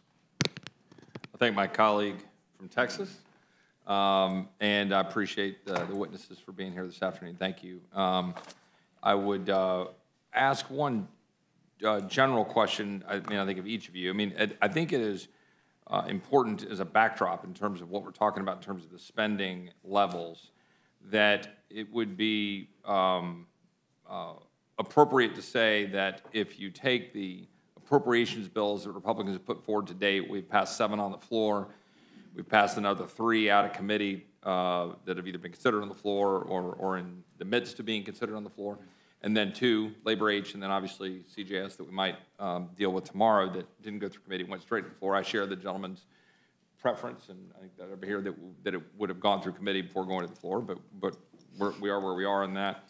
But the, the main point, though, is on the overall spending level. Is, is it fair to say that if you take and add up all of the appropriations bills that we have passed out, um, out of committee, or these two at the spending levels that were set by the committee as they came to the floor, that the total spending levels would uh, achieve roughly, I think, about a 1584 or 1586, something like that, top line. Um, And I, 1586. yeah. And that which is a few billion acknowledged below the 1590 FRA level. Uh, So you could, I, I guess you could kind of uh, quibble over, you know, what's been cut in those, in that $4 billion. But putting that aside, it effectively is spending in compliance with the ceiling that was set in the highly bipartisan FRA. Is that a? Yes. Is that a fair statement? Yes. Uh, Yeah, I'd be happy to answer that. It's $152 billion below the bipartisan budget agreement, and all of the cuts are on the non-defense side. 152 billion. $152 billion below. So the 1586 bipartisan- is 152 billion below? Below the bipartisan budget agreement. But I would, I would like to explore that. So Of course. 152 And billion, it's all on, if the- understand, it's all on the non-defense. So 150, yeah, but the, the the FRA agreement, which was struck, acknowledged a plus up in defense of roughly 3%, $28 billion. and of non-defense uh, that would then uh, make up in order to achieve FRA. But, but, but I think this is actually No, important. non-defense was cut. right, in- non-defense in- was In the agreement, in the FRA. Yes, Agreed. which was overwhelmingly, oh, uh, uh, uh, uh, this, overwhelmingly supported. I think that that one one has to go back to the premise, that there was a budget agreement. And if I said many times here, I voted against the budget agreement. Same. Well, but it was overwhelming, overwhelmingly supported. And the reason why I voted for it was, one, appropriations was not part of the process. And secondly, I was very concerned as to what the level of the, uh, uh, uh, uh, of the allocations were, were, were going, were going to be, and with regard to non-defense appropriations. And I say that because I come from a defense-dependent state, so I don't have any problems with that, that side of it. However, the, you all walked away from the budget agreement and the fiscal responsibility bill. Without, within a week's period of time, you said no, that those top lines were not uh, uh, to be followed. And that is still what is happening now. So when you bifurcate what you're doing, you're going to, there is no allocation for each one of the, uh, of the subcommittees. So you go, you, you'll plus up one, lower ones, ones that you like, ones that you don't like, and so forth, which is really madness here in terms of a process to get us to a budget. So- But so Sixty-nine getting- billion dollars in additional spending outside of the This, cap. this is an important, this is an important Yeah, point, because sure. if, if the gentlelady is correct, that it is missing hundred and fifty-two billion dollars, Mm-hmm. uh, when it, is- in fact, mathematically, undeniably, adds up to fifteen eighty-six, give or take, a, a couple of billion, again, within rounding errors. It, it, that's, just a mathematical truism, that what we're talking about in terms of the appropriations bills that Republicans have put forward, that the programmatic spending levels add up to roughly, again, roughly fifteen eighty-six. That then if there's hundred and fifty-two billion dollars allegedly missing, then what I'd like to understand is, is what is that? And I think for the American people to understand, uh, it's generally wants to correct or add something to Yeah, it. no, no, I don't have to, I don't have to Okay, correct. well, What you're not not considering is that you've got hundred fifty-two Precision. billion dollars below the bipartisan agreement. What you're not addressing is Oh, I'm the- addressing. the sixty-nine billion dollars that was for emergency for base, for COVID and commerce, for the IRS rescission, and so, and, and, and, and, and, and, and the CHIMPs, which added up to sixty-nine billion dollars. And that's exactly my point, and I thank you for making it. Well, Because I'm happy, this- happy, I, I Right. want, let's be accurate with the facts. Okay, well, I Let's am being be accurate with facts. The programmatic spending level last year, one point six oh two trillion dollars. That's a mathematical fact. That was the, that's the programmatic spending level for, for DOD, for all of the non-defense programs, and obviously you've got veterans and, uh, some that are, uh, uh, energy and some that are part defense and part non-defense. So you've got a one point six oh two level, and the question was, what was gonna be our spending level? FRA was gonna be at basically fifteen ninety of the programmatic spending level, representing a reduction. Fifteen eighty-six would have been the automatic one percent across the board level. These are the numbers that we're looking at for the actual programmatic spending levels. But the, but the, the, the, the deal that was struck, which, which many of us tried to point out back in Memorial Day, was that there would be effectively backfill. Like if you look at the, the White House's own documentation when they were putting it out and putting it forward, 886 billion for defense, 121 billion for veterans uh, medical care, uh, and that defense level. This is the White House's own document that they put out. President Biden, comma Democrat, budget level 3% increase for defense. That's 886. The veterans medical care budget level, they put that number out, 121 billion, and then it says 637 billion for other non-defense programs, taking into account all agreed upon adjustments, virtually equal to 2023. That'd be 637. That all adds up to 1644. Now, that would represent about a $54 billion number, greater than the 1590 that we've been talking about in terms of the uh, overall spend with respect to, relative to the 1602 last year in the omnibus spending bill. My point of that is, the gentlelady doesn't uh, think the numbers are actually ref- reflected or, or uh, didn't support it for a variety of reasons that she's already described. Um, for concerns about not spending enough, I have colleagues on my side of the aisle who were trying to explain to the world that we were, that the spending levels were going to be something they weren't gonna be. That's, the- that's the reality, because this is the problem here that we're talking about with respect to, I'm keeping my time for a second. The problem we have here is that we've got $54 billion that we know of in CHIMPs and in uh, other accounts, the 22 billion sitting at the Commerce Slush Fund, which we had an entire exchange in this committee about, where my Republican colleague, Mr. Schweikert, came in and said, well, why aren't we using that to pay for the um, Israel funding? Or why are we using that to pay for the FEMA disaster aid? You know why we're not using that, ladies and gentlemen? Because it's already set aside for this town and appropriators to use to backfill to spend more. That's the truth. And so we've got that money, 54 billion. You've got CHIMPs, which no one in America understands what those are. And that, that's why we continue to spend at levels that are blowing the lid off of, of No, spending. no, I- I- excuse me, I want to just true. with all due respect to the gentleman, and I have high regard for your, your, your, your knowledge and the, uh, uh, uh, the, uh, the dealing with, with, with the numbers, but I don't know what you do know about, an, about the Appropriations Committee or the history of the Appropriations Committee and, and what it does and how it does it. The fact of the matter is, Let's not get away from, you all agreed, maybe you didn't, but the bulk of your colleagues, yes, and my colleagues, voted for a budget agreement.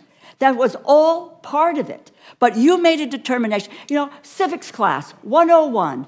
You pass it in the House, you pass it in the Senate, and the president signs it. It's the law of the land. Now, you chose not to go with the law of the land. You have come up with some other construct to deal with this. Each bill on its own, depending on whether you like the bill or you don't like the content of the bill. That is not the way the process needs to be worked. You agreed. Whether I didn't agree, you didn't agree, but the bulk of the people in this body, in the democratic process, agreed to it. It is the law of the land. That's what we should be following and doing. Well, this. if the you gentlelady- bifurcate the bills, you If the- bifurcate the bills, and those bills bifurcated means that you will like ag and you'll increase the number, though the bill went down on the floor. You don't like labor H, so you'll do it in. Now, that is one hell of a way to run a railroad. Well, if the Stay gentlelady, if the the gentlelady would Stay like to, the if the gentlelady would like to Gentleman from Texas explain. If, the time. if the gentlelady would like to point in the bill, uh, in the law of the land that she just described, where the fifty-four billion dollars is with respect to CHIMPs, could you, if you could point that out in the FRA, I'd love to see it. All I know is it was agreed to by the former Speaker of this House. Oh. If that isn't enough for you guys to move on, then I don't know what the heck to say to you. So that's the law of the land, side deals. That's how this town works, ladies and gentlemen. So Yeah, here's the, here's the fact. Uh, what we're looking at here is a reality that everybody understands that has unfolded this year, is that we've been working hard to break apart a very badly broken appropriations process and try to rebuild it in such a way that the American people could possibly understand it or possibly understand why we continue to spend money we don't have. And what I would tell for the, for the folks out there, you know, following this on C-SPAN diligently, no doubt at home, uh, the reality is, um, that's the, the, the, the re- resistance we get, frankly, from staff, and I say that as a former staffer, as a chief of staff in the Senate, as a lawyer on the Senate Judiciary Committee, the resistance we get from staff from daring to ask questions as members of Congress of the Appropriations Committee, daring to ask questions as to where this money is going, how it's being used, the resistance we've gotten all year, and it is being amplified at this exact moment because what the gentlelady just referred to is exactly the problem. And I don't cast aspersions to her description. It is precisely what we've gotten from both sides of the aisle. That if we dare ask a question about where all of these numbers are, that don't show up in black and white for the American people to see, that that somehow is a problem. That if there's a deal struck, okay, don't worry, here's where the spending levels will be. Here's what will be written into the FRA. Here's what will be passed on law for us to see on the floor of the House. And then there's all of a sudden side deals that are done to say, don't worry about it, we'll be able to use this account over here. We'll be able to, we'll be able to fund that program. Don't worry about it.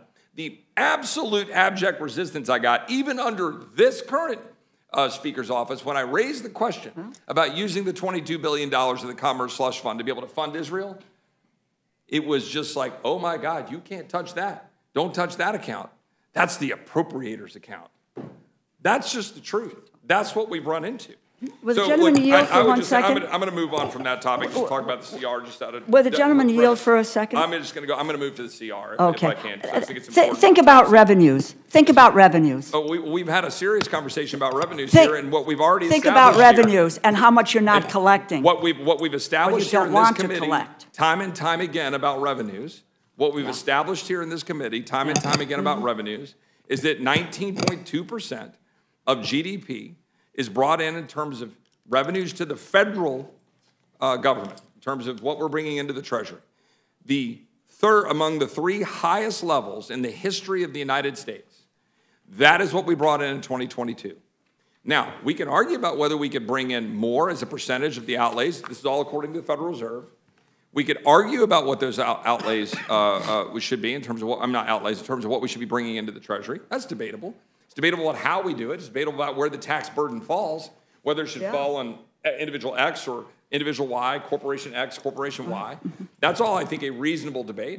But the idea that you're going to solve our spending problem when we're at the third highest level or among the three highest levels of revenue to the treasury we've ever had as a percentage of our gross domestic product is facially absurd, and it's part of the problem why Well, we wha- continue go what's absurd is allowing corporations to pay nothing. Okay, but, but if, if, if the, if the gentlelady's position is that we're allowing corporations to pay, To pay pay nothing. zero. To pay nothing, then you can go down the road of trying to come up with policies to change that, but it will not change the fact at the moment. You can't that get as a that moment- here because as Republicans a- won't be will for not it. change the fact at the from moment controls. that the federal government is bringing in among the third highest levels of receipts to the Treasury it ever has as a percentage of GDP, according to the Federal Reserve. Not true. I assume the Federal Reserve is lying.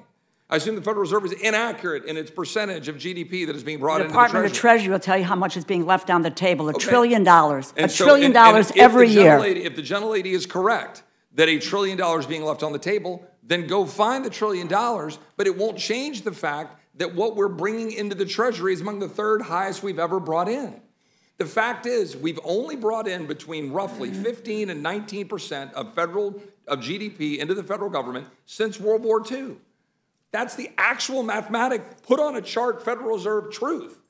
And so the facts are, oh, well, I we guess ought to I magically. challenge your facts, We're going to so magically leave it at bring in 25% or 30% of GDP and cripple the American economy in the process, cripple jobs by going out and taxing our, our, our uh, job Oh. The- creators the- into The oblivion. job creators who So- buy stock One- one- options. Gentleman from Texas controls the time. I understand cannot that. talk No, over we don't have- other. I'm done. I- Our I awesome don't wanna- stenographer. But, but the reality is, when we talk about revenue, Foolishness that's, that's the truth. Ridiculous. And so we want to talk about spending, which is what this is about. What we've tried to do is produce, whether the colleagues on the other side of the aisle like it or not, and I would, and I would compliment the gentleman for the bill that he's put forward because it's, it's adhering with the tenets of the FRA in terms of the overall spending level. It's achieving the objective that was laid out under the FRA in terms of the spending level. And if we're going to find the cuts, they got to come from somewhere. It's going to come from some aspect of the programs that are, that are being put forward. I think there are things we could have done more, things maybe you could have done less, but I want to compliment the gentleman for what he's done to try to achieve the objective we laid out to achieve, to reduce spending on the discretionary account as one step towards the many we've got to do to achieve fiscal sanity. But uh, one thing that I, I, I want to ask about the continuing resolution, because it's important because we're all debating it. And I understand that, I think the gentleman supports it on behalf of the speaker, and a good number of my colleagues will, I think, uh, do so. I oppose the continuing resolution on, on October 1. Um, and, and I will oppose this continu- continuing resolution. But, but I think it, it merits um, recognizing that this continuing resolution, and I, and I, and tell me, gentlemen, just tell me if you think I'm, I'm, I'm wrong, if the, if, if any of this is incorrect, that this will continue the spending levels of the omnibus bill from last December, which was the $1.6 trillion spending level, and will do so for at least 60 to 75 days, depending on the, the, the various accounts, right? It will spend at that level. And it will do so, which means basically spending about $268 billion over the next two months, a little more than that, actually, for the ones that extend to February 2nd, at the uh, levels of the omnibus spending bill, that level being $131 billion higher than the previous year of 2022. Uh, And the reason I think that's important is I just want to establish for our colleagues who, who may be watching this is, that's what we're talking about. A FY '23 omnibus spending bill passed in December, right before Christmas, which we say we want to avoid. We're going to continue to perpetuate spending at that level, which is $131 billion higher than the FY '22 level, and we're going to do that with the policies embedded in it that were adopted at the time, while we have a $2 trillion deficit. And last week, Moody's downgraded the U.S. federal debt outlook to negative due to the burgeoning interest rates, debt, and deficits. And we just had a treasury auction that was uh, less than stellar for the United States government. It would continue to fund the Department of Homeland Security, uh, led by Alejandro Mayorkas, that has released some 2 trillion, I mean, sorry, 2 million people into the United States, uh, including uh, allowing 1.7 million gotaways into the United States, and we offer no policy prescriptions in doing so for the next 60 to 75 days of funding. It will continue to fund the United Nations to the tune of 12.5 billion, including UNRWA, which has dollars which go directly and indirectly to the Palestinians and therefore Hamas, which is counter to our interest in standing alongside Israel. It will fund the continue to fund the proxy war uh, that we've got going on with Russia, in- including the $300 million that we just voted down in September in the DoD appropriations bill. It'll continue to fund and extend the authorization of the uh, COVID uh, state with respect to uh, PAHPA, BARDA, and CDC and NIH. Now, I would, I would note that a lot of those have been addressed in the Labor H bill, and I want to, I do want to compliment the gentleman and the appropriations efforts in trying to address some of those things. But the CR, of course, by definition, does not, right? We will continue to perpetuate a lot of the things that were addressed in Labor H. Uh, it continues to fund critical race theory and DEI at the Office of the Pentagon. It continues to fund the abortion, tourism, and transgender surgeries at the Department of Defense. It continues to fund the Department of Justice, ATF's pistol brace ban. It continues to fund the EPA's uh, attack on the internal combustion engine. It continues to fund uh, farm, uh, and it extends the farm bill to September 30th with no reforms to food stamps, no reforms to FDA, USDA tyranny over the small ag in favor of big ag, no fixes to Chinese Communist Party ownership of U.S. farmland. I could go on and on. Those are the realities what happens when you extend last year's funding levels as the majority party here. Um, I just think uh, we should try to do better, and I don't believe that this is the right approach that we should pursue. I would yield back. Chair thanks the gentleman. Gentleman yields back. Chair recognizes the gentlelady from New Mexico. Thank you very much, Mr. Chair. And, you know, I think it's really important to bring back to this discussion issues that Americans can understand if they are watching on C-SPAN. And you know what? Several of them do. It's amazing how many people come up to me and say, I saw you on C-SPAN. I'm going, who watches C-SPAN? But they do. And something that I think they very much understand is that what we are pursuing here with these extreme cuts that are not consistent with the Fiscal Responsibility Act, it hurts our communities. They understand it. When I'm talking to my rural communities, and I talk about an ag appropriations bill that takes us back to, was it 2007 levels, ranking member? Uh, they understand it when we talk about an environmental protection and the cuts to those bills that take us back to the 1990s. They understand it uh, when we talk about cutting education. Um, Chair, uh, I, I know, you know, I have a huge rural district. Uh, everybody who comes before here always has to learn about my beautiful rural district, right? Uh, and I love the communities I represent. They are Title I schools, Chairman. And you mentioned earlier that in terms of looking at these cuts, so many of the Title I schools are in big cities. But I don't really care if those Title I schools are in big cities or they're in the beautiful communities that I represent and I come from. Wouldn't you agree that a child, regardless of the wealth of their parents, regardless of how hard those parents might work and how little or lot they might bring in as a paycheck, that every child deserves a quality public education? Well, let me just mention, as I did in my statement, that there, it's estimated that over 20 billion uh, are still as un- unspent, uh, still remains for these provided during the pandemic to these schools.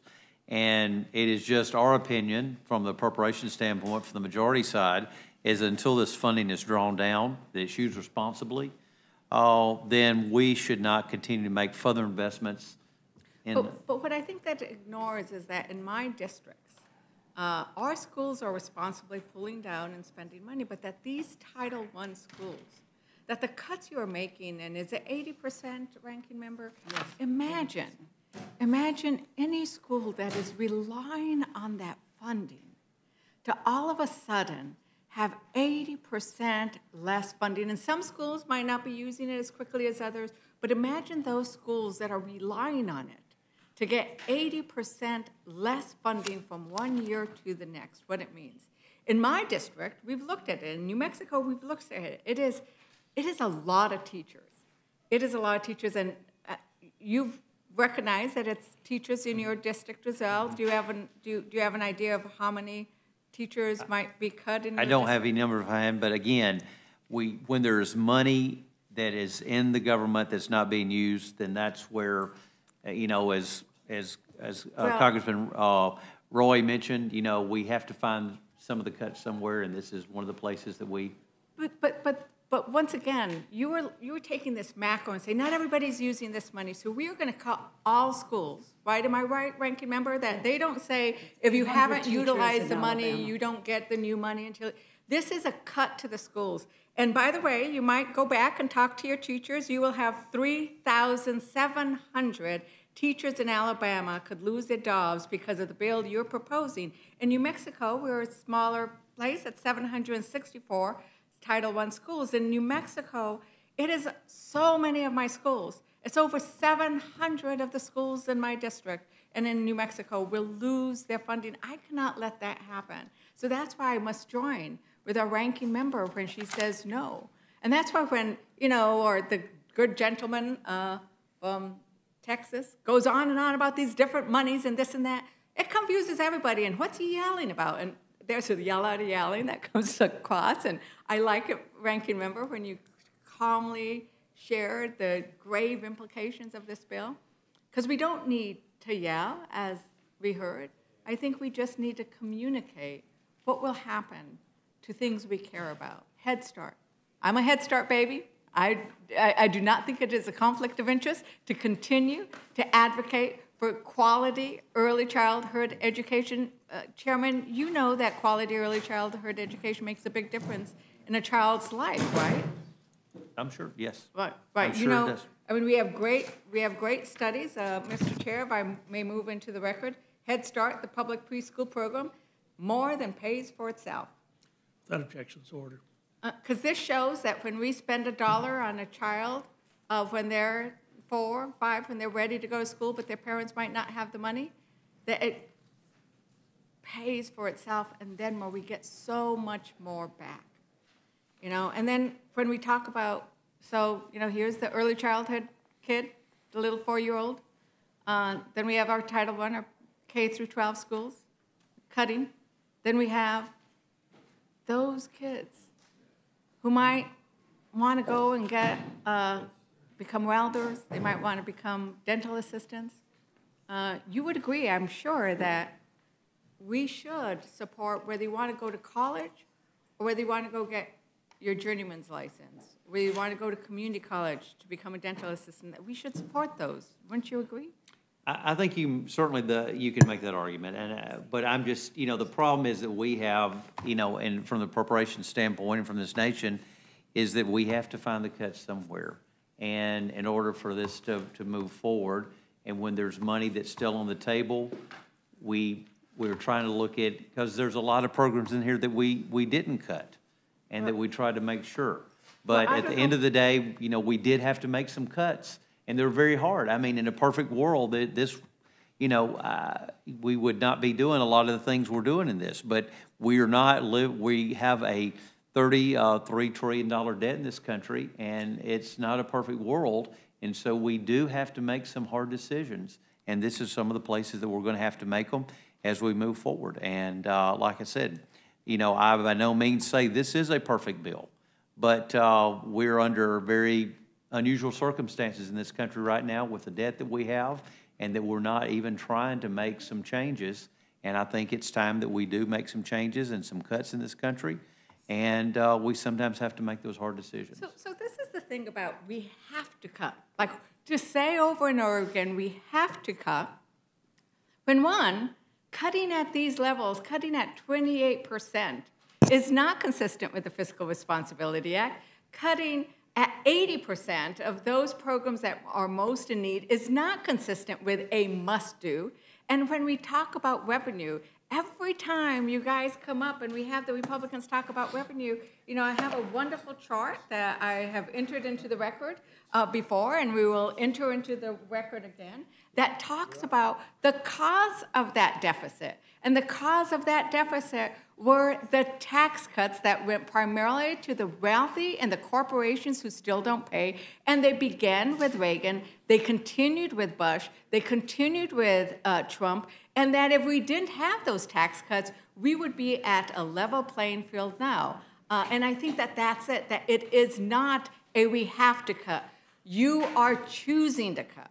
And when you choose to cut from those most vulnerable, from those who have told me, come and fight for me, go and take your voices, that's when I need to raise my voice just a little bit about this isn't right.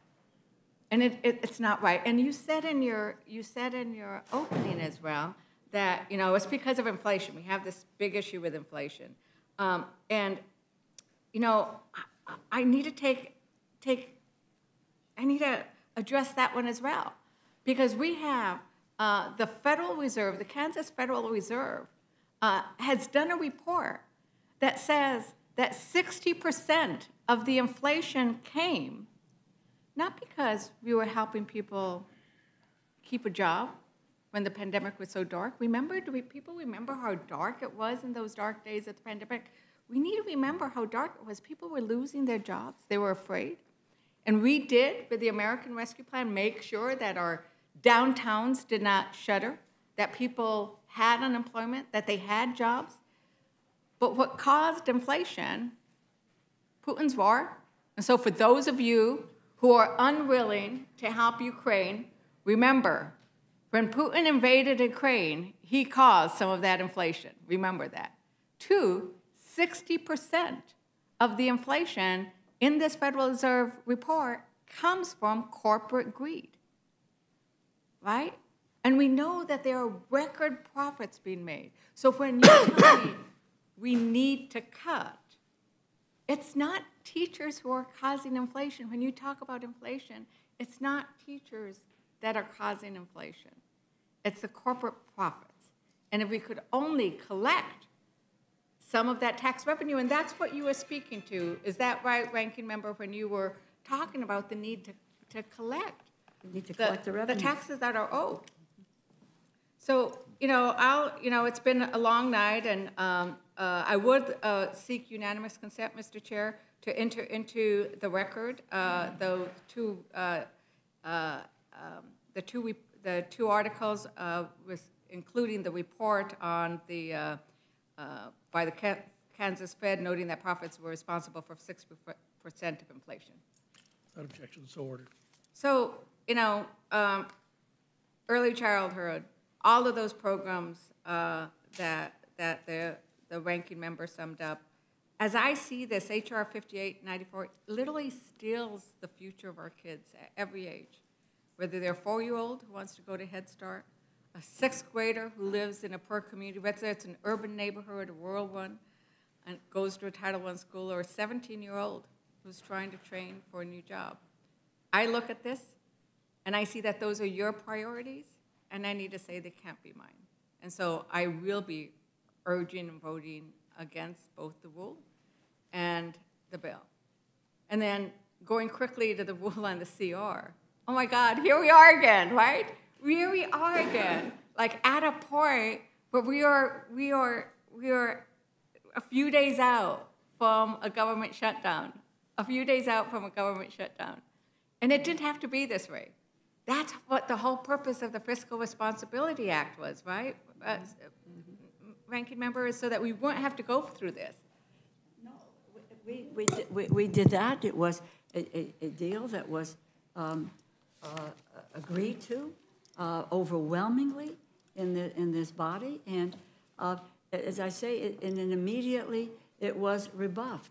We also had a continuing resolution uh, that we moved forward, which gave us another 45, 47 days to do something. And during this period of time, the time was squandered to bring up, I'm all for bringing up bills and doing something, but we've had one bill that failed, two which couldn't make it, and yet we're continuing this trajectory, which I said earlier.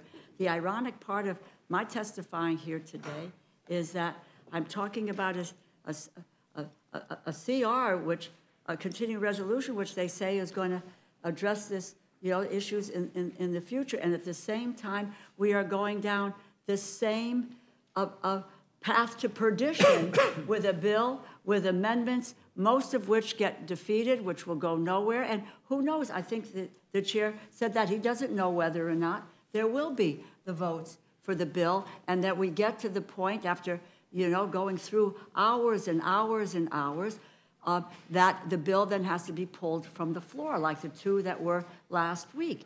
And, and then we have two more coming up this week, and those two could be in this very same position. As a matter of fact, those, these two bills did not even go through the full committee to get, to get marked up with uh, unbelievable uh, amendments. The time has been squandered. We should now be focused on an allocation coming from the budget agreement with each of the subcommittees. Let the House and the Senate appropriators hammer it out like we have done in the past in order to pass appropriations bills that will fund the government of, for 2024. My fear, my real fear, is that I said this earlier as, as well.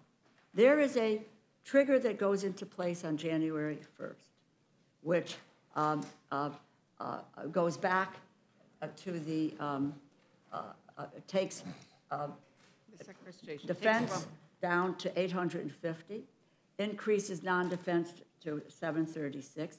That is only temporary. When the bills are passed, we go to the, uh, uh, non-defense, once again, goes back to its a dollar amount, defense goes up. But that process, 44 days in which nothing has been done, if you transfer that, we could be into April before, and we would just see six months where there is no budget for 2024 as well. And that is a, a reality. We cannot dismiss that, given the nature of the bills and the cuts that we are talking about, into trying to come to some sort of conclusion on where we should go. And not conclusion, some sort of a meeting of the minds, compromise. We win some, uh, uh, uh, colleagues with, we go back and forth, which is what we have done in the last two years with the appropriations bills to get them funds. And you know what? We don't need an omnibus bill. We can do minibuses as we have done in the past. So that this notion that you have to go in that direction is just, is just really kind of spurious. It's, it's just made up. We can come to a conclusion. Let's get the uh, appropriators focused on the bills uh, and get away from this madness which will occur over the next two days on the, or, or three days on the floor of the House. Thank you very much, Ranking Member. And the chaos and confusion that is being created with the constant flirtation with a government shutdown is not good for America. It's not good for our allies. It's not good for anybody. It is bad for our economy. It's bad for the trust in the system. Uh, Chairman uh, I saw you voted for the Fiscal Responsibility Act. Your ranking member did not, but she is willing, and I hope you are willing to work on a bipartisan basis to move us beyond this point. And with that, Mr. Chair, I yield back. Chair thanks the gentlelady. Gentlelady yields back. Chair recognizes the gentleman from New York, Mr. Langworthy. Thank you very much, uh, Mr. Chairman. I, I have no questions at this time. I want to really thank the witnesses for all the, the time that they've spent here with us, though, today. Thank you.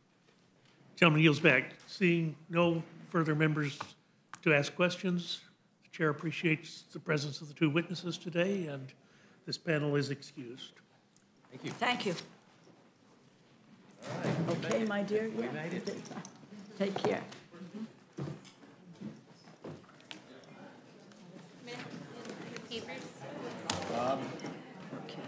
Thanks for cutting Head Start. That's the biggest waste of money. You're welcome. That's a contrast of the comments I just got earlier. And it comes down to this. Yeah. Do you believe that parents should raise the children or the government? All right.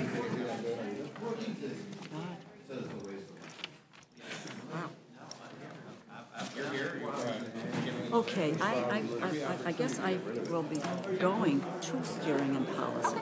It wasn't clear that I was going to be, so now the issue is, let's just talk.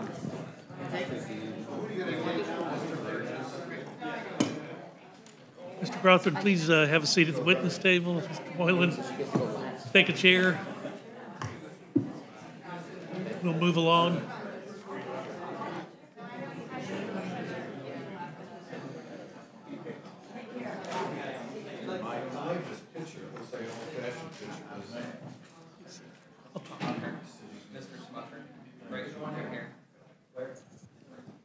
This is. Oh, right here, good. Perfect, thank you. An hour and a half of my life I can never get back. Very well. I think we have all the witnesses at the table or at the dais, and we're prepared to take uh, testimony on your amendments. Mr. Griffith, you're recognized. Thank you, Mr. Chairman. I appreciate it greatly. I have probably the simplest amendment you're going to have today. If you look at page uh, 122, line 22, and my amendment's number 229. But if you take a pa- look at page 122, line 22, uh, it says that notwithstanding any other provisions of law, no federal funding may be made available to EcoHealth Alliance, Inc., located in New York. Being the lawyer that I am, when I read that, I thought, yeah, I can see lawyers getting into a fight whether that applies to money that goes to EcoHealth in locations other than New York. So the amendment strikes located in New York and just says it doesn't go to EcoHealth, which I think was the intent of the underlying uh, language. And I'm just clarifying it so we don't get into legal fights with people who think like I do, which is sometimes odd. I yield. Chair thanks the gentleman. Very succinct amendment. Mr. Smucker, you're recognized for any discussion you have on your amendments. Thank you, uh, Chairman, um, for having us. Uh, th- My amendment is Amendment Number 176, and I ask that it be made in order. And this amendment would prohibit the Department of Education from implementing, administering, or enforcing a very narrow provision of their finalized rule on financial responsibility regulations, which, in my view, unfairly limits federal financial aid from being accessed by uh, what are called clock hour programs. Uh, And clock hour programs, career-oriented programs, some community colleges use clock hours to measure uh, students' progress rather than the credit-based system that traditional colleges use. Each state establishes their own licensure requirements and minimum number of uh, clock hours for programs like uh, cosmetology, massage therapy, barbering, nursing and allied health, trucking, and others uh, before students can apply for their state license. Many programs have then courses that go beyond the state's uh, minimum hours uh, for a number of reasons. Um, Allowing students more time to practice their trade, to increase their speed and income when they get to the job, uh, and in many cases, including new techniques and practices in instruction to ensure that students are prepared uh, to pass licensure exams. Um, And part, the Department of Ed has traditionally allowed career-oriented programs and some community college programs to go above 150% of a state's minimum number of clock hours and still be eligible for federal financial aid. But this recent rule would eliminate the 150% rule and states that any program that deviates from their state's minimum number of hours will not be eligible for federal financial assistance. And what that means for schools in my area is that they would uh, need to redesign, recertify their programs, which is a very uh, time-consuming process, or students will have to pay in cash or private loans for the entire program. Uh, Today, it's estimated that more than 3 million skilled trade jobs uh, will remain open by 2028. Uh, And I think at a time when our nation is struggling to fill these roles, employers cannot find uh, qualified workers, uh, it's not the right time to make it harder for students to uh, access um, these programs that will prepare them for the workforce. So again, uh, my amendment would ensure that the department cannot fund this provision regarding program length of its, fi- uh, in its final rule, and would allow students to continue to use the federal financial aid they're eligible for to fund their studies. So uh, thank you to Mr. Chairman and the members of the committee. I ask that my amendment be made in order, and I I yield back. Thank you. Chair thanks gentlemen. Mr. Moylan, you're recognized. Thank you, Mr. Chairman. Today, I testify in support of my amendments to the Labor, HHS, Education, and Related Agency Appropriation Bill. As we continue to discuss and debate the Appropriations Bill, I ask that we not turn a blind eye to the realities of my constituents on Guam. Regarding health care, there are two civilian hospitals on Guam, one of them being the Guam Memorial Hospital. This hospital serves not just the entire island, but the region. GMH is infested with mold and is falling apart. The walls of the hospital are caving in, and the atmosphere is poisoned with toxic mold. Without adequate funding and attention, it will not be long until we witness the collapse of healthcare system on the island. Recently, the Federal Emergency Management Agency inspected the Guam Memorial Hospital and has determined its condition to be in need of full and complete replacement.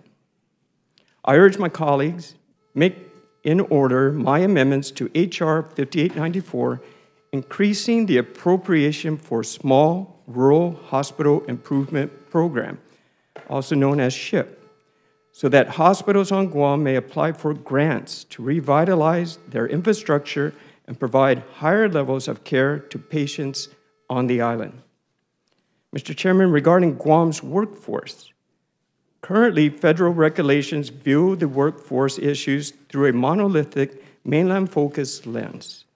This is especially true when discussing increasing the minimum wage exemption level for federal contractors. During the Trump administration, the territories were exempt from this practice and were left to let their local markets dictate the cost of labor. In September of this year, the Biden administration proposed hikes in the exemption level of minimum wage for U.S. territories.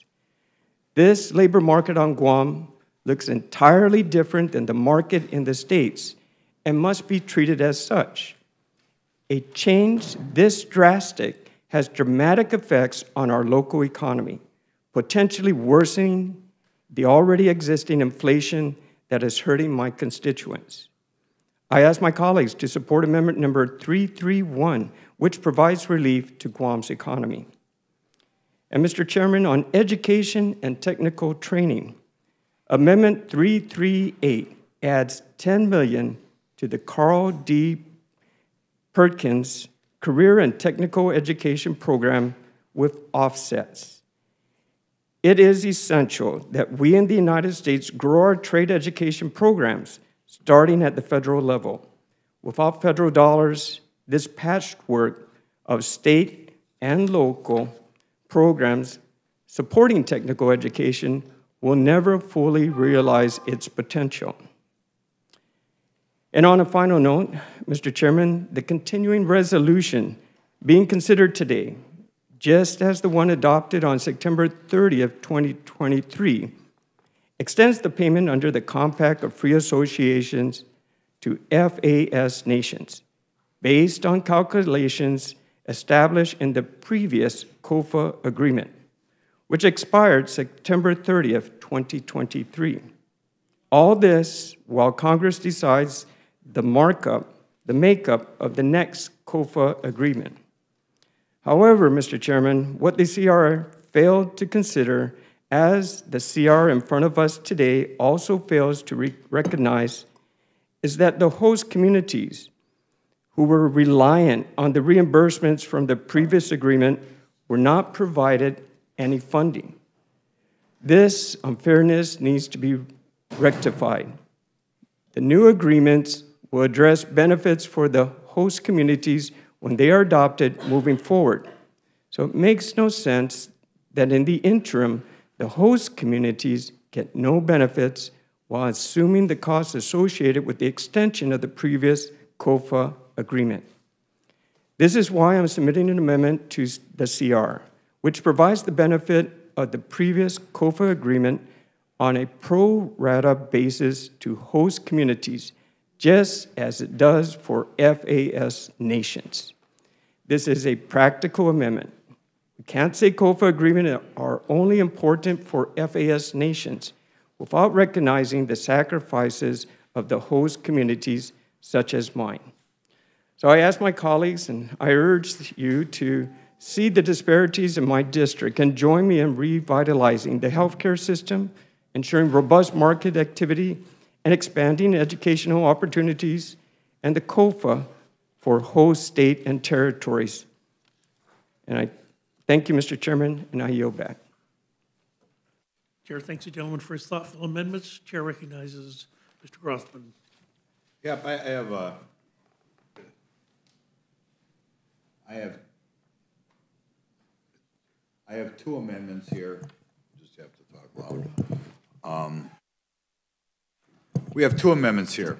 The first deals with uh, competitive integrated employment.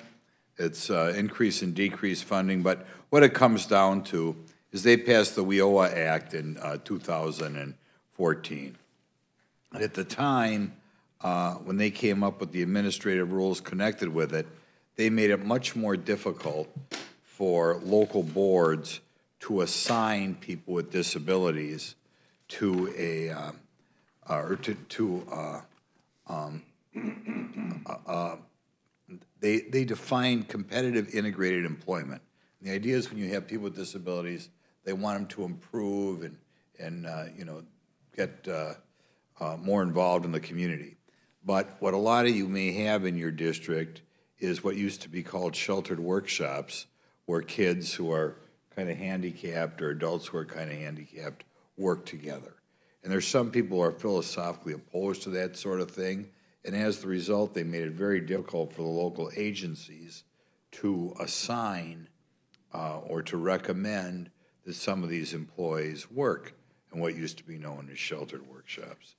Uh, just as a sidelight, you're all in politics, I strongly recommend that you tour these workshops sometime because it's really exhilarating to see these uh, folks with maybe Down syndrome or whatever working maybe for less than minimum wage, but um, being part of society. Uh, but I think the people who are opposed to that sort of thing and say you can't have a bunch of these folks working together, um, they did them a disservice and resulting in less people working in these settings. And frequently not working in these settings, they wind up not working at all. So what we want to do here in this amendment is to go back and make it clear that uh, your state agencies, your vocational rehab agencies, uh, go back to the day in which you could recommend uh, these people with handicaps work in what used to be known as sheltered workshops. So that's the first one. The second one is we want to prioritize money for the CDC to do a study on the effectiveness of vitamin D against COVID.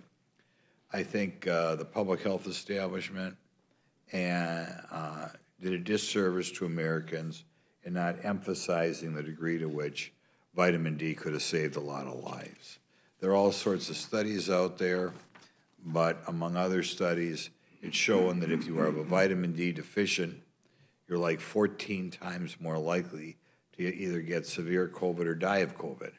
You know, you see all these ads when COVID was going on, and you wouldn't tell people. I think you could have hacked the number of deaths, you know, to one eighth or one tenth of what they were if the American public was taking vitamin D like they should have. It also would have helped if the medical community, if somebody came in for a checkup, did a test on vitamin D. And if you would have found out you were deficient, you could have more, recommended more vitamin D. People take more vitamin D, they would have survived. It's particularly important to people of color. You know, I think of all the all the black people who died unnecessarily because they did not have adequate vitamin D in their system. But in any event, I'd like to have a study which I'm sure would confirm what I'm saying and what a lot of professors are saying at that time, and a lot of people in other countries were saying, take that vitamin D. I mean, of all the mistakes we made during COVID, I think we made a lot of mistakes. I think a lot of people are, should be alive today who weren't. But if the public health establishment and uh, the medical establishment, with all these billions of dollars we are spending out of this place, had educated people on vitamin D, I personally believe having talked to a lot of experts in the field, I think maybe only one out of eight people who died would have died. Largely, it was a, a, a, a pandemic accelerated by, or pandemic hitting people who were vitamin D deficient. Those are the only two I have for you today, I'm sorry. Just two. Chair thanks the gentleman. Uh, Gentleman from Louisiana is recognized. Thank you, Mr. Chairman. I have three proposed amendments I'd like to address today, amendment number 62, 63, and 65. Um, They are connected to each other, so I'm going to discuss them all. Imagine, if you will, Mr. Chairman, an salt mine in South Louisiana has been operating for a long time, very successfully, very safely, and outstanding records of um, worker safety and, and I mean, Morton Salt, it's in every kitchen across the country, from sea to shining sea. When it rains, it pours. That's the, that's the, that's the saying. So the Morton Salt Mine has, obviously, comes under the, the regulatory um, supervision of the MSHA, the Mine Safety and Health Administration. And the MSHA has inspectors. So a particular inspector working this mine decides he wants a job at Morton. So he applies for a job. He doesn't get it. Doesn't get the job. All of a sudden, his, his role as an inspector begins to include a tremendous increase in notices of violation or failure for the mine. Clearly appeared to be targeted and vindictive. So this was obviously addressed through chain of command at the mine, through the, through the MSHA. Say, hey, this guy is abusing his authority. Please do something about this. Nothing was done. So eventually this becomes a congressional concern. This- the constituents go to their congressmen and senators and say, this is wrong, what's going on? Our, our mine is being injured, hundreds of jobs injured, and it's clearly the action of uh, retribution, appears to be, by a particular inspector. So I have an entire investigative file, Mr. Chairman, and I'm I'm, I'm turning over to the Department of Labor's Office of Inspector General. I'm asking for appropriate investigation. And my two, my three amendments, if two Holman Rule amendments and one reallocation of funds amendment. So essentially, we are asking the, the, the House to consider reducing the salaries of two key MSHA officials. We propose re- reducing the salary of Christo- Christopher William, Christopher Odell, excuse me, Christopher Williamson, and William Odell, to one dollar. And we propose reduction of, uh, of 1 million from MSHA's budget and redirecting those funds to the Department of Labor's Office of the Inspector General. So essentially, we're using a Holman rule to hold the men accountable that were involved in either the actual behavior of um, abusing their regulatory authority in a targeted and vindictive manner, or supervising that action and not taking action when it was called to their attention, and, and asking the Inspector General to investigate it and using funds from MSHA to pay for the investigation.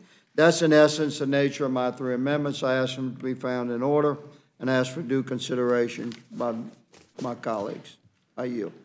Chair thanks the gentleman. The gentleman from Georgia is recognized. Thank you very much, Mr. Burgess, uh, members of the committee. Um, Thank you for allowing me to testify on this bipartisan amendment to the FY '24 Labor, Health, and Human Services Education Related Agencies Appropriations Act. My amendment, number 150, uh, which is co-sponsored by Representatives Amodei of Nevada, Claudia Tenney, uh, Blake Moore, Jennifer Gonzalez Colon Puerto Rico, Zachary Nunn, uh, Lori Chavez-DeRemer of Oregon, would restore the Job Corps program to its fiscal year 23 funding level, which is approximately 1.76 billion. The underlying legislation eliminates uh, funding for Job Corps entirely. Uh, The amendment is fully offset. Uh, It rescinds the $5 billion in unused Department of Labor funds that were authorized under the CARES Act and intended to go to administrative costs for a temporary unemployment insurance program uh, known as TFFF. Uh, This mandatory appropriation would be rescinded and then reappropriated to Job Corps as well as to deficit reduction. Uh, A September 2023 Department of Labor Inspector General report found that of the $12.5 billion in funding that was made available to the 53 um, state workforce agencies through the uh, TFFF program, nearly 5 billion of it remained unused as of July 31st of this year, which is more than 22 months after the benefit eligibility period which expired. Uh, and there's no formal plan to reconcile the state's accounts and to deobligate the remaining, the remaining funds uh, to return it to the Treasury. Uh, these are unused Department of Labor funds for which the authority has expired. It's entirely appropriate to repurpose them to save uh, the Department of Labor's Job Corps program, uh, which has paved the way for millions of young Americans to receive education, training, and career opportunities for nearly 60 years. I'd be grateful if the Rules Committee would accept this bipartisan amendment and allow it to be brought to the full House for a vote. Uh, as a co-chair of the bipartisan Friends of the Job Corps caucus, I know that many members of the Rules Committee have been stalwart supporters of the Job Corps and have seen firsthand the benefits in that district. I've worked with uh, Chairman Cole in his previous role as chair and ranking member of the uh, House Labor HHS Appropriations Subcommittee. And throughout his tenure, he's worked tirelessly to ensure that Job Corps has sufficient funding. Uh, Oklahoma has three Job Corps centers that serve nearly 900 students, and the Cherokee Nation operates one of the Job Corps centers. Our ranking member McGovern is fortunate to have the Grafton Job Corps campus in his district, and he's been a long-time champion. Uh, Representative Massie has the Whitney Young Job Corps campus in Simpsonville. Uh, Representative Leger Fernandez has the Roswell Job Corps campus in her district, and Representative Langworthy has the Cassadaga Job Corps Academy in his district. Representative Scanlon has the Philadelphia Job Corps campus in her district. So earlier this year, Representative Houchin and Langworthy joined a bipartisan Job Corps appropriations letter, which I led with my fellow co-chair, uh, Representative Guthrie, and that called for the Appropriations Committee to maximize funding for the Job Corps at 24. I'm proud to say that this letter gathered 134 signatures and support, uh, and when the the last administration attempted to close the Forest Service Job Corps Civilian Conservation Centers, 81 of uh, my Republican colleagues voted for an amendment which was co-led by Congressman Newhouse to uh, ensure that the campuses remain open. I'm not going to continue, but I do urge you to uh, uh, consider uh, making this uh, amendment in order. Uh, there may be some issues with regard to points of order, but I believe that uh, we can and have addressed those. I won't go into that now because of time, uh, but I'd urge you to consider it. Uh, this is broadly supported, it's bipartisan. the members of this committee and the full uh, uh, committee and the House support it, uh, and we urge that these funds be repurposed for purposes of continuing the Job Corps. Gentleman yields back chair. Thanks, gentlemen. Gentleman from New York is now recognized. Thank you, Mr. Chairman uh, and members of the committee. I'd uh, like to briefly uh, uh point to uh, four amendments that I've submitted for consideration uh, among some others.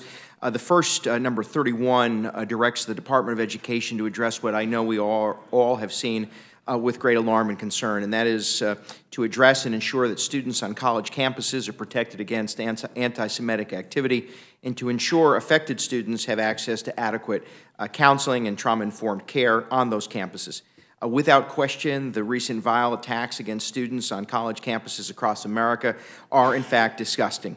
And this amendment reinforces that no student should be attacked for their faith and that uh, support should be available to those students regardless of that faith.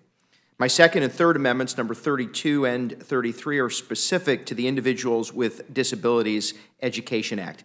I've been before this committee before on uh, both amendments and legislation to broaden uh, both awareness and access to special education services. These amendments highlight the importance of ensuring school districts inform parents of the right to have a third-party advocate in individual education planning meetings, uh, as well as emphasizes the importance of supporting students with intellectual and developmental disabilities. It's bad enough that in many cases students with disabilities are left uh, to navigate the system without support. It is worse yet uh, that entities uh, don't advise parents of their right to third party advocates in these settings to more adequately advocate for their children. And the last I'd like to point to is number 37, uh, and I'll, um, uh, it uh, specifically speaks to funding for substance abuse, excuse me, the Substance Abuse and Mental Health Services Administration, SAMHSA, to create stabilization centers that provide walk-in care for individuals with serious mental wellness concerns or substance use disorder.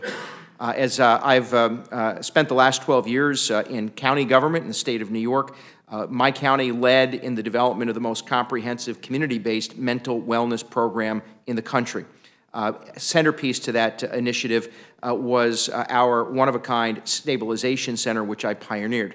Uh, this uh, this uh, center proved uh, effective in reducing emergency department visits, hospitalizations, and even incarceration. In my home county, substantial reduction in both violent crime and incarceration while enhancing mental health and substance use disorder programming. Expanding access to these crisis, stabilization centers across the country will help those uh, addressing mental wellness concerns, address uh, the and, and lead to the reduction in incarceration safely, and uh, assist uh, those who are dealing with substance use disorder, uh, perhaps addressing uh, those who might show signs of acting out violently against themselves or others, contemplating suicide, and overall provide assistance to those dealing with mental wellness concerns. I, would ask consideration of all four of these amendments. I think they're common sense and uh, advance uh, both uh, access and support to those with disabilities, of course, uh, those uh, living with mental wellness and substance use disorder, uh, and confront to what is a, growing concern of anti-Semitism on college campuses across America. And with that, I yield back. Gentleman yields back. Chair thanks the gentleman. Chair recognizes the gentlelady from Indiana for speak on her amendments. Thank you, Mr. Chairman. Um, first, before I talk about my amendments, if I could, I just want to comment on the Job Corps amendment. Um, I'm disappointed in the cuts to the Job Corps funding and would certainly continue to advocate for, for restoring that funding. Um, I do have a bill this, this uh, session. It's prioritizing funding for evidence-based workforce development programs um, that could address some of the concerns that appropriators might have in, in funding for certain programs just making sure that we're sending those funds to the programs like Job Corps proven, that have been proven to work. Um, also, I'd like to give a comment on uh, Mr. Molinaro's um, amendment on third-party advocates. I'm also a sponsor of that amendment and um, support it as well. Um, I kicked off Congress with a priority of mine, which is uh, li uh, literacy improvement. You know, our, our students in the United States have declined uh, in their literacy rates significantly over the last several years. In my first education and workforce hearing, I discussed the need to push the industrial educational complex away from failed balanced literacy approaches to more phonics-based reading instruction to help our students, especially those with dyslexia and other reading disabilities. My son's dyslexic. Um, there are many students across my district and across the country that have this reading disability. In fact, one in five Americans suffers from dyslexia. Uh, we're making progress toward a more phonics-based instruction. We know that students at the in the top 20% of students will learn how to read no matter how you deliver the material to them. The bottom 20% of students will only learn to read if you deliver it to them in a very specific phonic, phonics-based way. And all the students in the middle will benefit most by the methodologies that we use to teach students in the bottom 20%. So I'm proud of the work that we've done, but it really is hard to turn the bureaucratic barge at the state and the federal level. Uh, after COVID 19 uh, and learning losses that followed, it really is more important than ever that we focus on what works. So that's why, Mr. Chairman and my fellow committee members, I put forward two amendments in the hope that committee could make them in order. Amendments number 324 and 325. Uh, Houchin Amendment 324 highlights the importance of a phonics-based curriculum, and Houchin Amendment 325 highlights the importance of literacy education for all results for the nation, which is a program under the ESSA. We must prioritize the instructional methodologies that work and support programs that can help students become better readers. It's clear that strong reading opens doors for students to explore math and science fields, and students that don't learn to read, particularly by the third grade, will be negatively impacted their entire educational journey, and this is something we should all be able to work together on. That's why I urge the committee to make in, in order these two amendments, because our students can't wait. Thank you, Mr. Chairman, and pending questions, I will yield back the balance of my time. Chair thanks the gentlelady. The witnesses have all done such an awesome job. I have no questions. I'll go to Mr. McGovern. I'm going to follow your lead for the first time ever. Gentlelady from Minnesota. Well, now that he's leaving, you can do that. No, I yield back. From Pennsylvania. Just a quick comment. As you've pointed out with respect to so many great programs, whether it's early education, SAMHSA, Job Corps, all of these things are drastically cut. 80% cuts to Title I, which is funding for our poorest schools. There's not a member here whose district won't suffer more than $20 million in cuts. Hundreds of teachers gone. So I think that needs to be part of the mix as we move forward with this legislation. Chair thanks the gentlelady. Gentleman from South Carolina. And gentlelady from New Mexico. Once again, uh, I have no questions. I thank the witnesses for showing, including our members, in discussing how important some of these are for our community at large.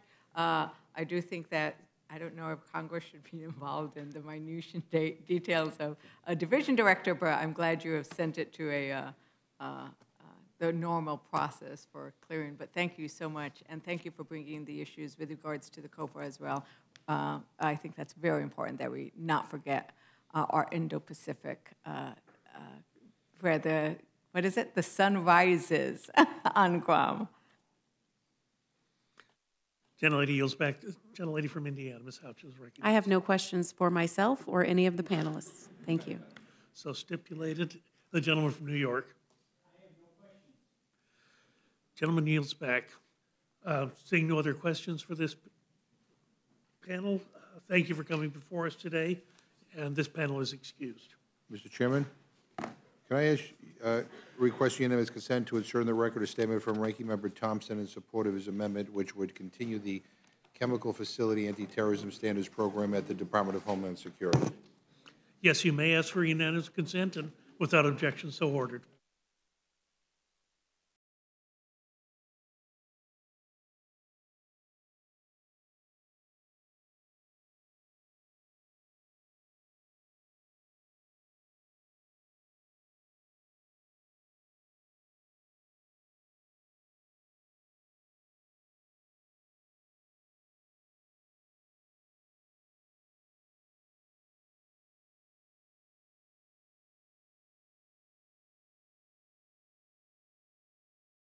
Thank you, and uh, gentlelady from New York is recognized on, to speak on her amendments.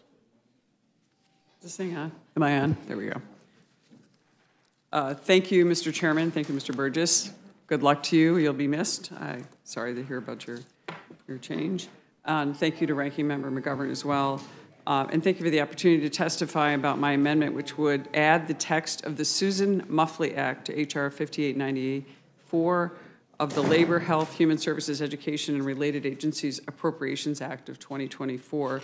As most of you know, in 2009, more than 20,000 Delphi salaried retirees lost the full value of their retirement benefits in the aftermath of the General Motors bailout. As part of its 2009 bankruptcy agreement, the Delphi Corporation, a subsidiary of GM, surrendered its pension obligations to the Pension Benefit Guaranty Corporation. The Obama administration then worked behind closed doors with union leaders to guarantee union workers full pension benefits while slashing the pensions promised to the 20,000 non-unionized salaried staff.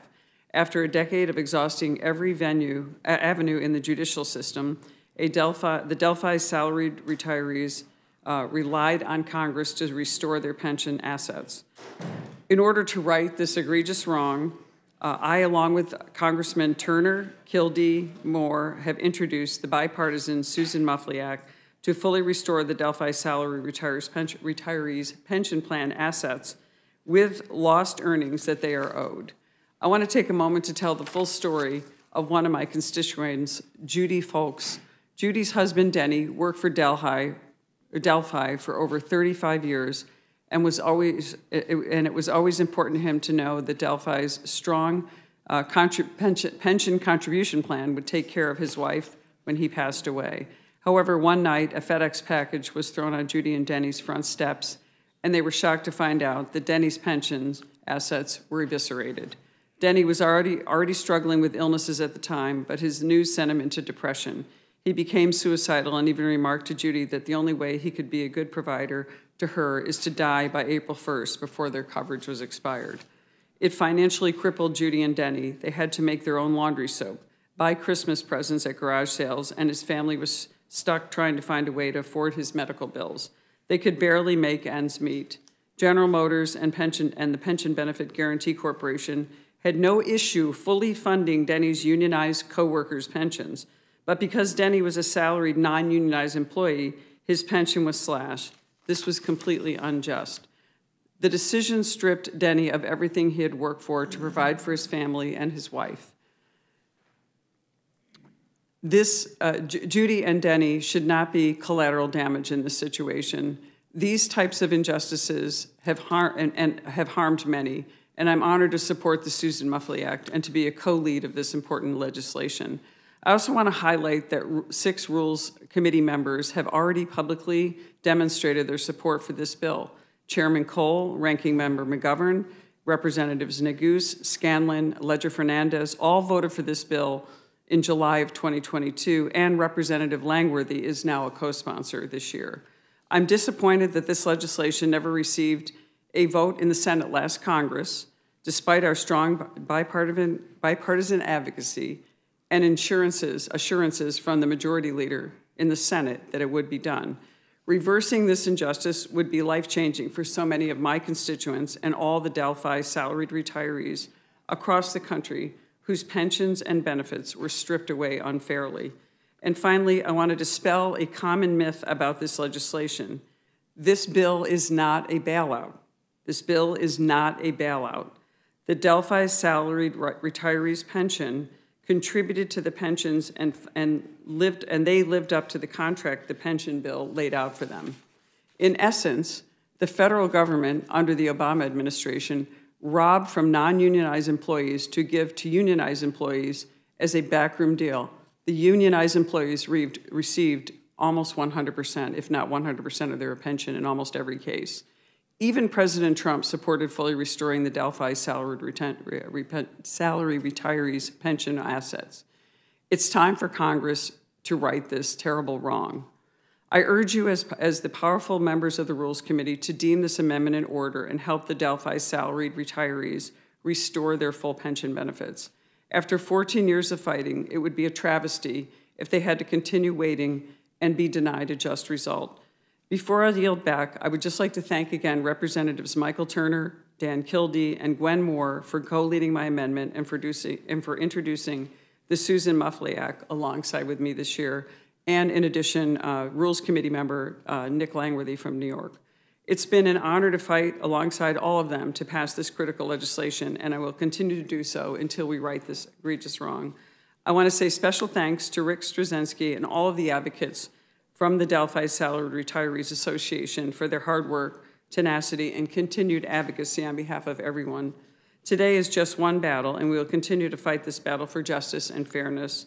With that, I yield back, and I'm happy to take any questions anyone may have. The chair thanks the gentlelady.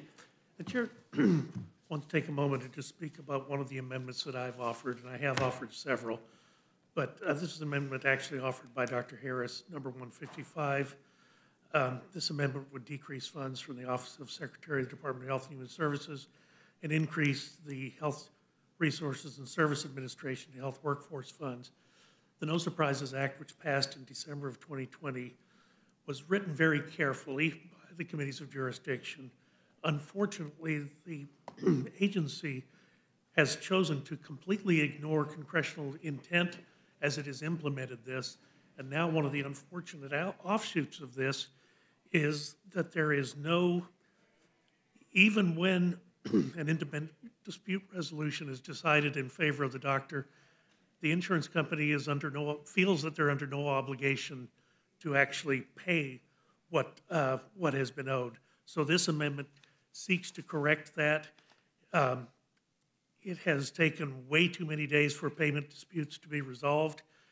And then on top of that, even after they're resolved, oftentimes they are just simply ignored. The Secretary has implemented this policy extremely poorly, no serious enforcement. As a result, doctors are leaving the workforce in droves. Because the Secretary of Health and Human Services is furthering the health workforce shortage, this amendment would decrease the Office of the Secretary and increase the top line of HRSA health workforce accounts. And I will urge that my, that Dr. Harris's amendment be made in order. Um, That concludes testimony from the witnesses. Again, awesome job by both of our testifiers. I have no questions. The gentleman from Massachusetts, I thank you. I support your amendment. do you support mine? Chair will recognize the gentleman from South Carolina, no questions. The gentlelady from Pennsylvania, and the lady from Indiana, gentlelady from New Mexico. Mr. Langworthy from New York. I, I just uh, want to take a moment and salute uh, Congresswoman Tenney for her leadership uh, for the Delphi salaried retirees. We, we uh, share neighboring districts, and, and a lot of mutual constituents have been deeply affected by this. Uh, And your leadership uh, on the Ways and Means Committee and, and for those workers is, is really commendable, and I look forward to working with you to get this over the finish line. Um, This witness panel is then excused with no further questions. Is there anyone else seeking to testify on H.R. 5894 or the further continuing appropriations and other extensions act? Seeing none, this closes the hearing portion. Without objection, this committee stands in recess.